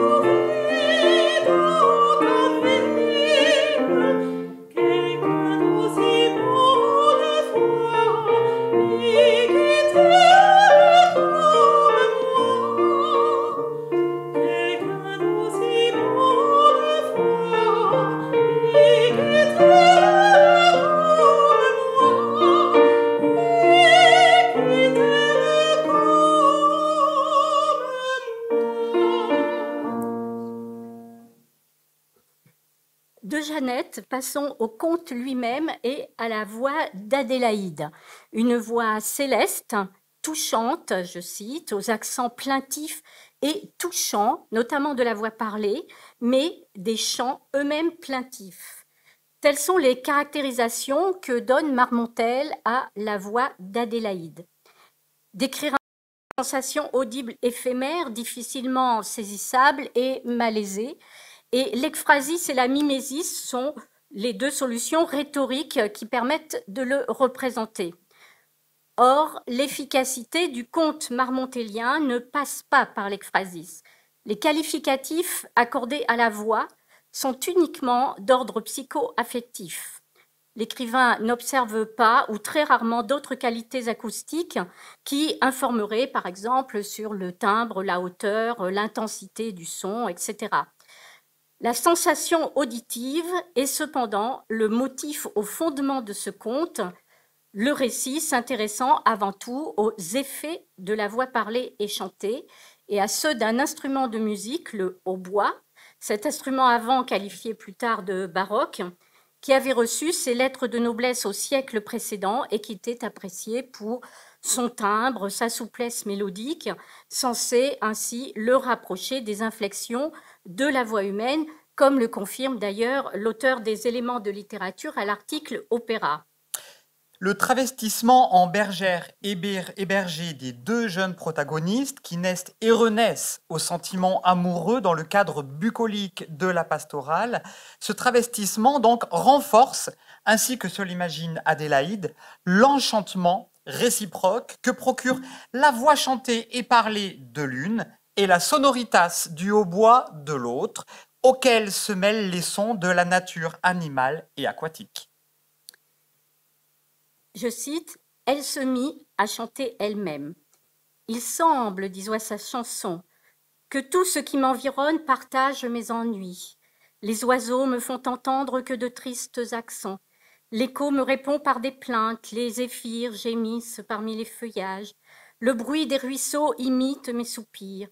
On dirait qu'il roule des pleurs. Fonrose, attendri par ces chants, ne put s'empêcher d'y répondre. Jamais concert ne fut plus touchant que celui de son hautbois avec la voix d'Adélaïde. Au ciel, dit-elle, c'est un enchantement. Je n'ose en croire mon oreille. Ce n'est pas un berger, c'est un Dieu que je viens d'entendre. Le sentiment naturel de l'harmonie peut-il inspirer ces accords? Comme elle parlait ainsi, une mélodie champêtre ou plutôt céleste fit retentir le vallon. Adélaïde crut voir réaliser les prodiges que la poésie attribue à la musique sa brillante sœur. Confuse, interdite, elle ne savait si elle doit se dérober ou se livrer à cet enchantement. Le paysage sonore de la nature ne rêvait aucune originalité sous la plume de Marmontel, qui reprend là les topoïs bien connus de l'églogue. Le chant fait ressortir des sons qui relève de l'humeur mélancolique du personnage dans un continuum du pathos dysphorique qui donne son ton au conte. Tristes accents, plaintes de l'écho, etc. Les sons naturels, vraisemblables dans le cadre choisi, font illusion. Le chant en prose est celui d'une prose poétique. Quatre propositions grammaticalement identiques, sujet, verbe, complément, donnent le rythme pendant que nombre d'allitérations et d'assonance, que nous n'avons pas le temps de détailler ici, renforce la longueur de la plainte. Un exemple Les oiseaux ne font entendre que de tristes accents. L'écho me répond par des plaintes. Les zéphyrs gémissent parmi ces feuillages. Le bruit des ruisseaux imite mes soupirs.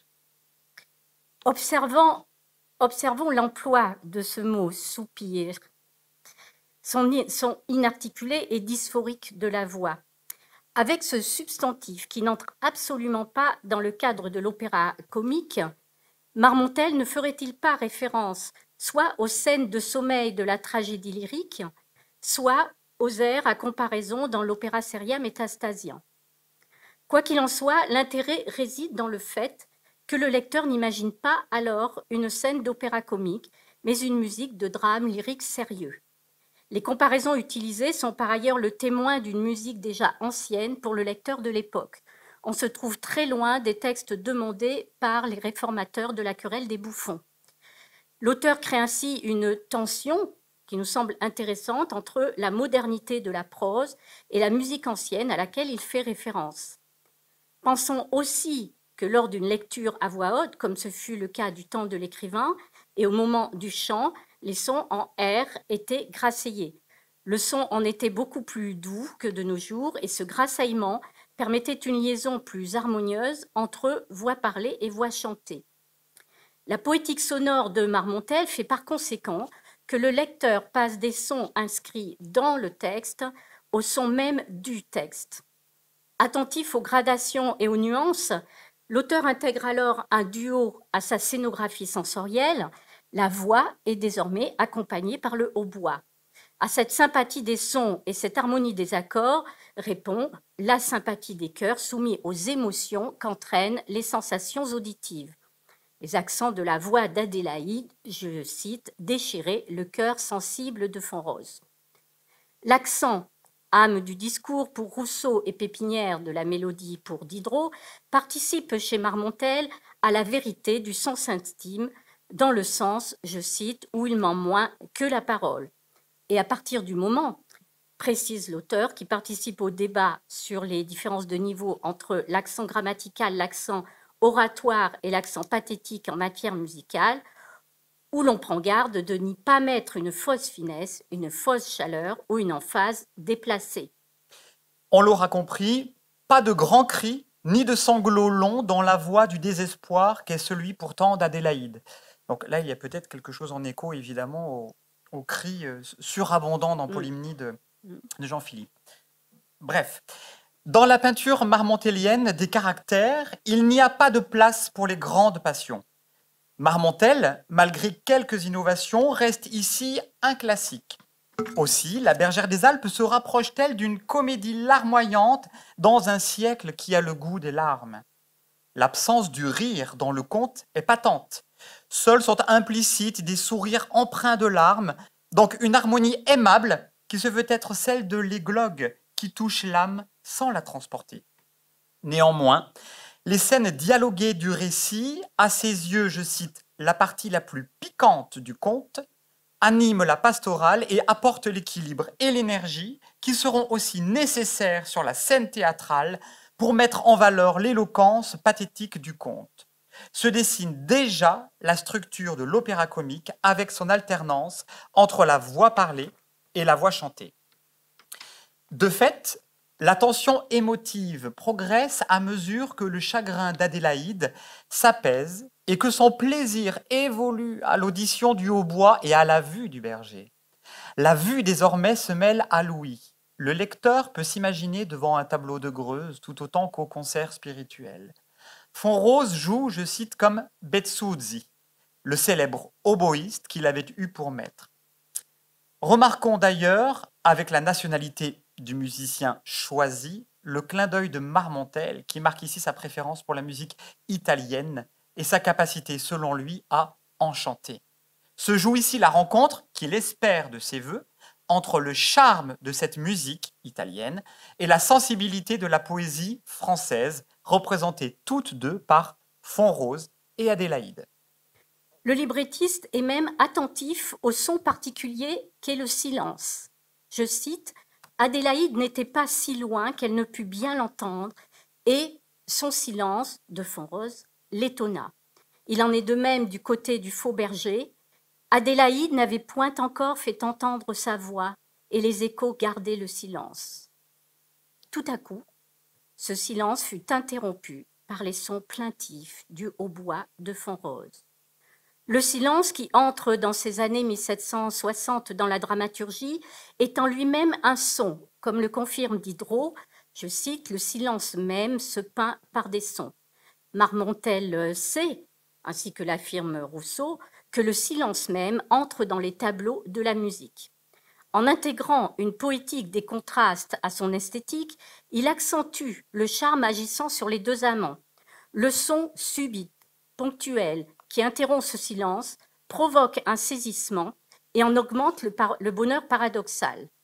La soudaineté de ces sons, en raison de la sensibilité auditive qui s'exerce avec davantage d'acuité dans le quiet espace pastoral, compte autant que leurs propriétés acoustiques. Adélaïde en reçoit même les effets thérapeutiques décrits à l'article Effet de la musique de l'encyclopédie. Je cite C'était la première fois que sa douleur, suspendue par une distraction agréable, livrait son âme à la douce émotion du plaisir. Le lecteur assiste alors au prodige.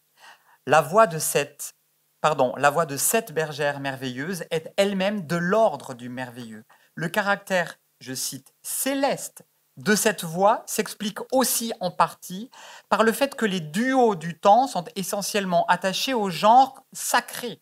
Il est aisé, voire immédiat, pour le lecteur d'imaginer un duo céleste. Mais si l'écrivain s'accorde avec son temps, conservant la doctrine de la supériorité de la voix sur l'instrument, il offre aussi au bois beaucoup d'agréments.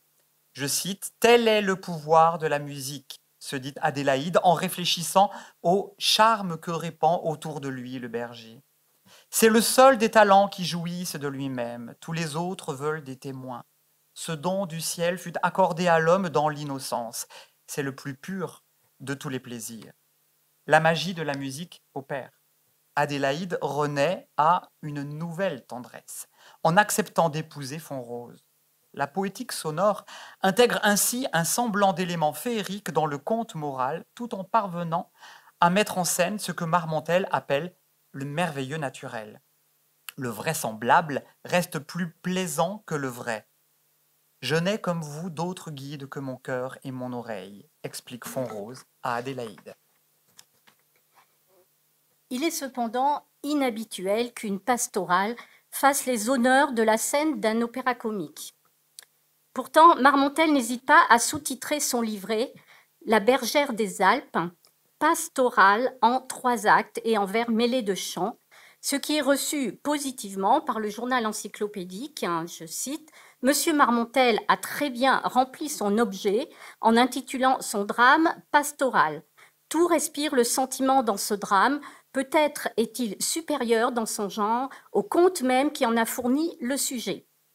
La possibilité de porter au théâtre cette pastorale témoigne ainsi des mutations que l'opéra comique connaît alors. L'observation du livret de La Bergère des Alpes, genre littéraire à part entière, exprime en effet, comme dans le conte, l'effet de réel. Le merveilleux n'y a en effet rien de surnaturel et il se trouve amoindri dans le livret, et l'intention de vérité. Les sonorités y sont aussi le thème de plusieurs dialogues et comme dans le conte et le livret, inscrivent la pastorale lyrique dans un locus amoenus propre au genre, mais contrairement au conte, Marmontel n'hésite pas, dès la première scène du premier acte, à s'approprier les codes du drame lyrique. Mais quand vient le temps des orages, quel vacarme, quel ravage Le vent parfois brise nos toits, le tonnerre gronde, la grêle s'y mêle, le troupeau bêlant s'en va en tremblant. La transformation virtuelle du paysage en locus terribilis, on imagine aisément la voix de l'acteur-chanteur, augmenter son intensité et les fusées des cordes soutenues par les grondements ou les ronflements, comme dirait Jean-Philippe, des basses emplir l'espace du théâtre. La transformation virtuelle du paysage, donc, va de pair avec la présence du tombeau que Marmontel dispose sur la scène. Dès cette ouverture d'ailleurs, le duo formé par Fonrose et Guillot, véritable bouffe à l'italienne, installe la tonalité d'un suspense, tempéré toutefois par la négociation menée autour de l'achat par Fonrose des vêtements du berger et par la visibilité du tombeau. L'auditeur quittera aussitôt le caractère bouffon de ce marchandage en écoutant le court monologue d'Adélaïde qui suit immédiatement dont le chagrin est exprimé par les sonorités des pleurs et de la douleur signalées dans le monologue. On retrouve en outre la plainte du personnage, observée dans le conte, dans la première scène où chante Adélaïde, à la scène 6 de l'acte 1. Le passage qui était en prose poétique, désormais versifié et chanté, accentue les sons des oiseaux, du vent et des ruisseaux. La musique prévue ne reprend-elle pas pour autant le charme qui était celui du conte? La puissance sensible du chant fonctionnait précisément parce que celui-ci était inaudible. Le charme de la musique ne tient pas en effet de la qualité de la mélodie, mais de la puissance qu'elle exerce sur celle ou celui qui l'écoute. Il témoigne du trouble ressenti par Adélaïde et Fonrose et offre la possibilité à Marmontel de traiter l'indicible, la charge profondément érotique que le conte véhicule et qui justifie l'intrigue elle-même. Proposer une mise en musique, n'est-ce pas détruire le fantasme du conte dont le paysage sonore, à partir de sa figuration dans le texte, est imaginé? Le hautbois participe d'ailleurs de ce fantasme. Je cite Aux accents de votre voix, je me sens toi tout de flamme, et ma bouche à mon bois n'a fait qu'inspirer mon âme. Ce choix soulève malgré tout quelques perplexités, car la flûte aurait été davantage appropriée. L'époque la relie en effet à la voix et elle représente l'instrument emblématique du berger. Instrument en outre davantage sonore, le hautbois devient vraisemblable pour qu'Adélaïde entende la mélodie de Fonrose de loin. Une autre raison de ce choix s'explique peut-être par la classe sociale à laquelle appartient Fonrose, le hautbois étant l'indice permettant à Adélaïde de comprendre la fausse identité du berger. Il n'en reste pas moins que dans ce qui est certainement la plus belle scène, scène 4 de l'acte 3, celle durant laquelle Adélaïde lève le secret de sa peine et que Fonrose lui avoue son amour, il est impossible que la voix et le hautbois improvisent un duo. Se pose par conséquent la question de la vraisemblance. Le charme de ce duo ne peut en aucun cas tenir du résultat musical, il tient seulement à l'impression que les deux amants s'en font. Chacun des deux personnages entend ce que ses sentiments lui dictent. Marmontel met ici en place un cadre absolument vraisemblable par le choix du hautbois et du chant, pour que l'impossible ne soit pas observé comme du merveilleux, mais comme le prodige du sentiment. L'émotion est d'ailleurs à son sommet dans cette scène, la seule où Marmontel donne l'indication, je cite, d'un long silence, par le biais d'une didascalie à la suite d'un air chanté par Adélaïde. La qualification de ce silence dramatise la situation et souligne l'importance du silence en musique dans l'intelligibilité qu'il apporte au texte chanté. Le chant puis le silence tiennent dans cette scène le rôle qui leur est dévoué. Ils sont, pour le poète, tel que le pense Nougaret, je cite, une image détaillée de ce qui se passe de violent dans l'âme des personnages de sa pièce. Pour autant, cette violence intérieure ne s'exprime pas par des voix déchirantes.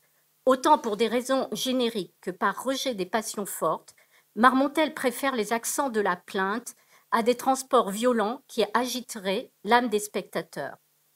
Marmontel est tout à fait en accord avec le nouveau théâtre moderne, je cite, L'intérêt doit naître de l'émotion, écrit-il dans l'apologie du théâtre. Aussi compte-t-il sur l'expressivité, je cite, la plus vraie et la plus sensible des acteurs-chanteurs. La variété des voix et des registres de langue, la graduation de leur sonorité, l'équilibre entre le parler et le chanter participent donc pleinement de cet intérêt. C'est une des raisons pour laquelle il insère quelques airs toujours aussi touchants mais gais. C'est ainsi que notre fausse bergère prend, un jour où elle rentre les moutons, un ton de légèreté. Et nous vous invitons à euh, admirer le château, un chapeau à la mode de la bergère des Alpes en même temps que vous écouterez la délicieuse bergère.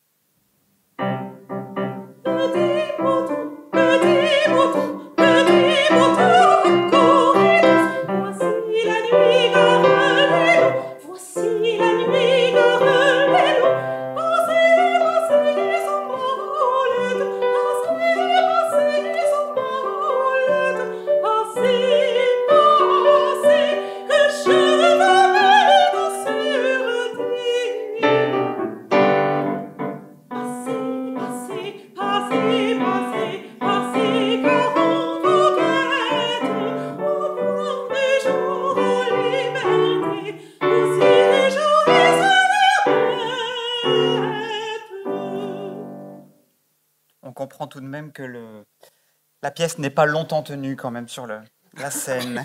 ne détruis pas le charme de la voix de Patricia. Allez, continue. C'est à moi, c'est vrai. Cette forme de ritournelle, qui s'inscrit dans la veine des chansons de Bergère, tient bien dans son rôle de divertissement sur la scène de l'opéra comique. Nous sommes du côté du joli, du petit, du plaisant. La musique participe volontiers à cet enthousiasme en confiant à Adélaïde une mélodie vive, ternaire, dont le mouvement et la répétition incessante des mêmes termes suggèrent la ronde et les joues rosies des jeunes filles de Greuze. L'équilibre de la structure du livret et de la variation des voix est bel et bien fondé sur la poétique raisonnée que Marmontel imaginait dans sa poétique française comme une nécessité. À ses yeux, la musique du livret n'a pas le seul rôle d'une ornementation sonore, elle remplit une fonction dramatique et sensible en participant à l'intelligibilité du drame, comme le souligne tout particulièrement le moment important de la révélation d'Adélaïde à la scène 4 de l'acte 3, prévu de manière étonnante en musique. Mais selon Marmontel, je cite, Le chant est le merveilleux de la parole et la musique veut de la poésie toute pure des images, des sentiments. En comparaison d'ailleurs avec la musique de Delus en 1767 et celle d'Edelman sur un livret de Moline en 1781, la production musicale la plus complète et la plus aboutie de la Bergère des Alpes demeure sans nul doute celle de Coe. Compositeur bohémien de la génération de Haydn, il pratique l'arrangement d'air pour le luth, ce qui le rend sensible aux mélodies simples et naïves tel que Marmontel réclame. Que ce compositeur peu connu ait eu la chance de travailler avec l'un des hommes de lettres les plus en vue de l'époque tient certainement au fait que deux ans avant la composition de La Bergère des Alpes, Coe avait obtenu un certain succès avec son opéra comique Le Serrurier. Malheureusement, La Bergère des Alpes n'aura pas cette chance, comme l'expriment les périodiques du temps. Nous avons supprimé les citations. La, vraisemblance du conte tenait notamment du travail réalisé par Marmontel sur le sonore, mais elle ne peut plus s'accomplir dans la pastorale compte tenu de la pauvreté de la musique et de son manque de sensibilité. Les mélodies de Co sont en vérité charmantes et agréables, mais elles manquent d'imagination et d'expression. Il faut cependant préciser que la musique de Co ne nous est parvenue qu'en partie. Le manuscrit, en effet, n'existe plus et l'unique publication consiste en un recueil d'ariettes sans accompagnement. Seules les romances les plus tendres sont conservées, tandis que les sections dramatiques, notamment celles qui engagent le dialogue avec le hautbois, ont été laissées de côté. Quoi qu'il en soit, Co ne propose rien que de très convenu et il se contente essentiellement d'appliquer les recettes musicales mises en place par Monsigny. La déception du public est à la hauteur des structures répétitives et attendues que le compositeur rebat sans cesse. Ignorant la variété formelle des ariettes de Marmontel, il se concentre sur une structure quasi unique de romance dans laquelle une première partie, en mode majeur, énonce une mélodie en antécédent conséquent, c'est-à-dire présentée une première fois sous une forme ouverte, puis une seconde fois sur une forme fermée, avant de céder la place à une partie médiane en mode mineur, non justifiée par le texte, mais par le goût du public pour ces moments mélancoliques et un retour de la première section. L'air que Jeannette chante lorsqu'elle espère retrouver son amant Guillot, alors emprisonné, Rendez-le-moi bien vite, illustre tout à fait le schéma adopté et répété, répété par Co tout au long de l'opéra.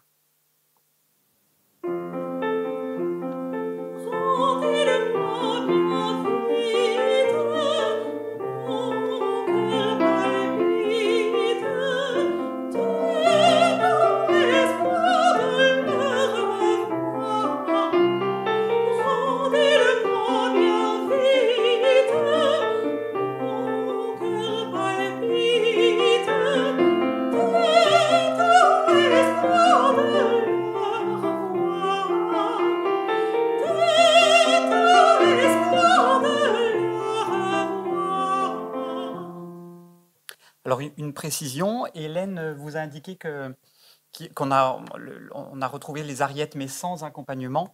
Euh, or que, alors vous entendez du, piano, en fait, je me suis permis de, proposer une reconstitution dans l'esprit des romances euh, des Lumières que je joue au piano, mais donc on est bien d'accord que la partie de piano mm. n'est pas celle, évidemment, composée par euh, Alors, deux airs tirent cependant leur épingle du jeu à savoir la romance que chante Adélaïde lorsqu'elle revient sur les circonstances de la mort de son premier amant, sous ses gazons depuis deux ans repose, et l'ariette que Rose exécute lorsqu'il avoue son amour pour la bergère, si je laisse dans les larmes.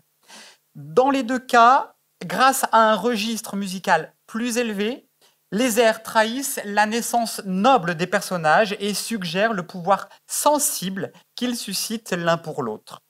La musique, plus raffinée, adopte l'écriture sérieuse et élégante de la cantate française. Dans l'air d'Adélaïde en mi bémol majeur, la bergère propose deux strophes musicales identiques dans lesquelles elle évite soigneusement le modèle de l'antécédent conséquence irrégulièrement utilisé dans les autres chansons, modèle que vous avez entendu. Elle multiplie les passages sensibles en tierce coulée. Alors, la tierce coulée, c'est ce qui est en, cadré en rouge. Alors,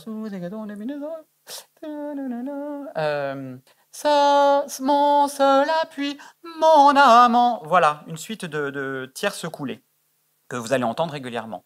Donc, elle multiplie les passages sensibles en tierces coulées et opère un superbe travail sur la suspension, en écho avec le caractère déglogue du livret et la mention indiquée à la suite de l'air et évoquée plus haut par Hélène, après un long silence.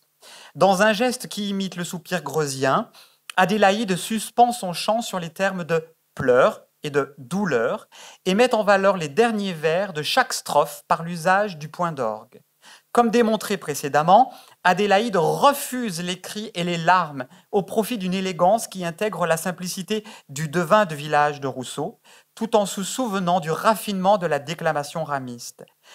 La dernière phrase du dialogue qui précède l'air, Parlons sans détour, prend alors tout son sens, car Adélaïde renonce à son costume musical de bergère pour lui préférer celui de la cantate pratiquée dans les cercles privés choisis.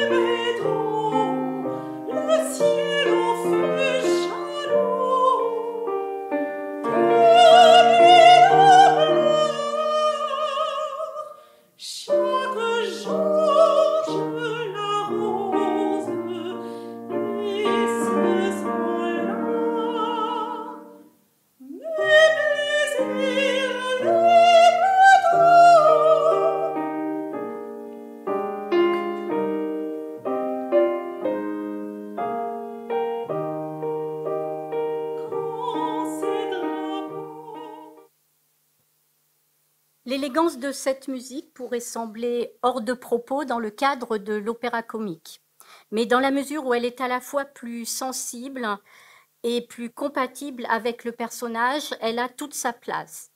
La révélation d'une musique juste et adéquate sonne comme le véritable dénouement de la pièce et justifie plus que jamais l'emploi du terme de pastoral. Co prouve qu'il est conscient des mutations esthétiques que l'opéra comique connaît alors et qu'il se montre prêt à engager un travail sur la sensibilité. Il est regrettable qu'il n'ait pas su mettre mieux en valeur le livret de Marmontel, qui sinon aurait sans doute eu autant de succès que le conte. Nous vous remercions. Merci.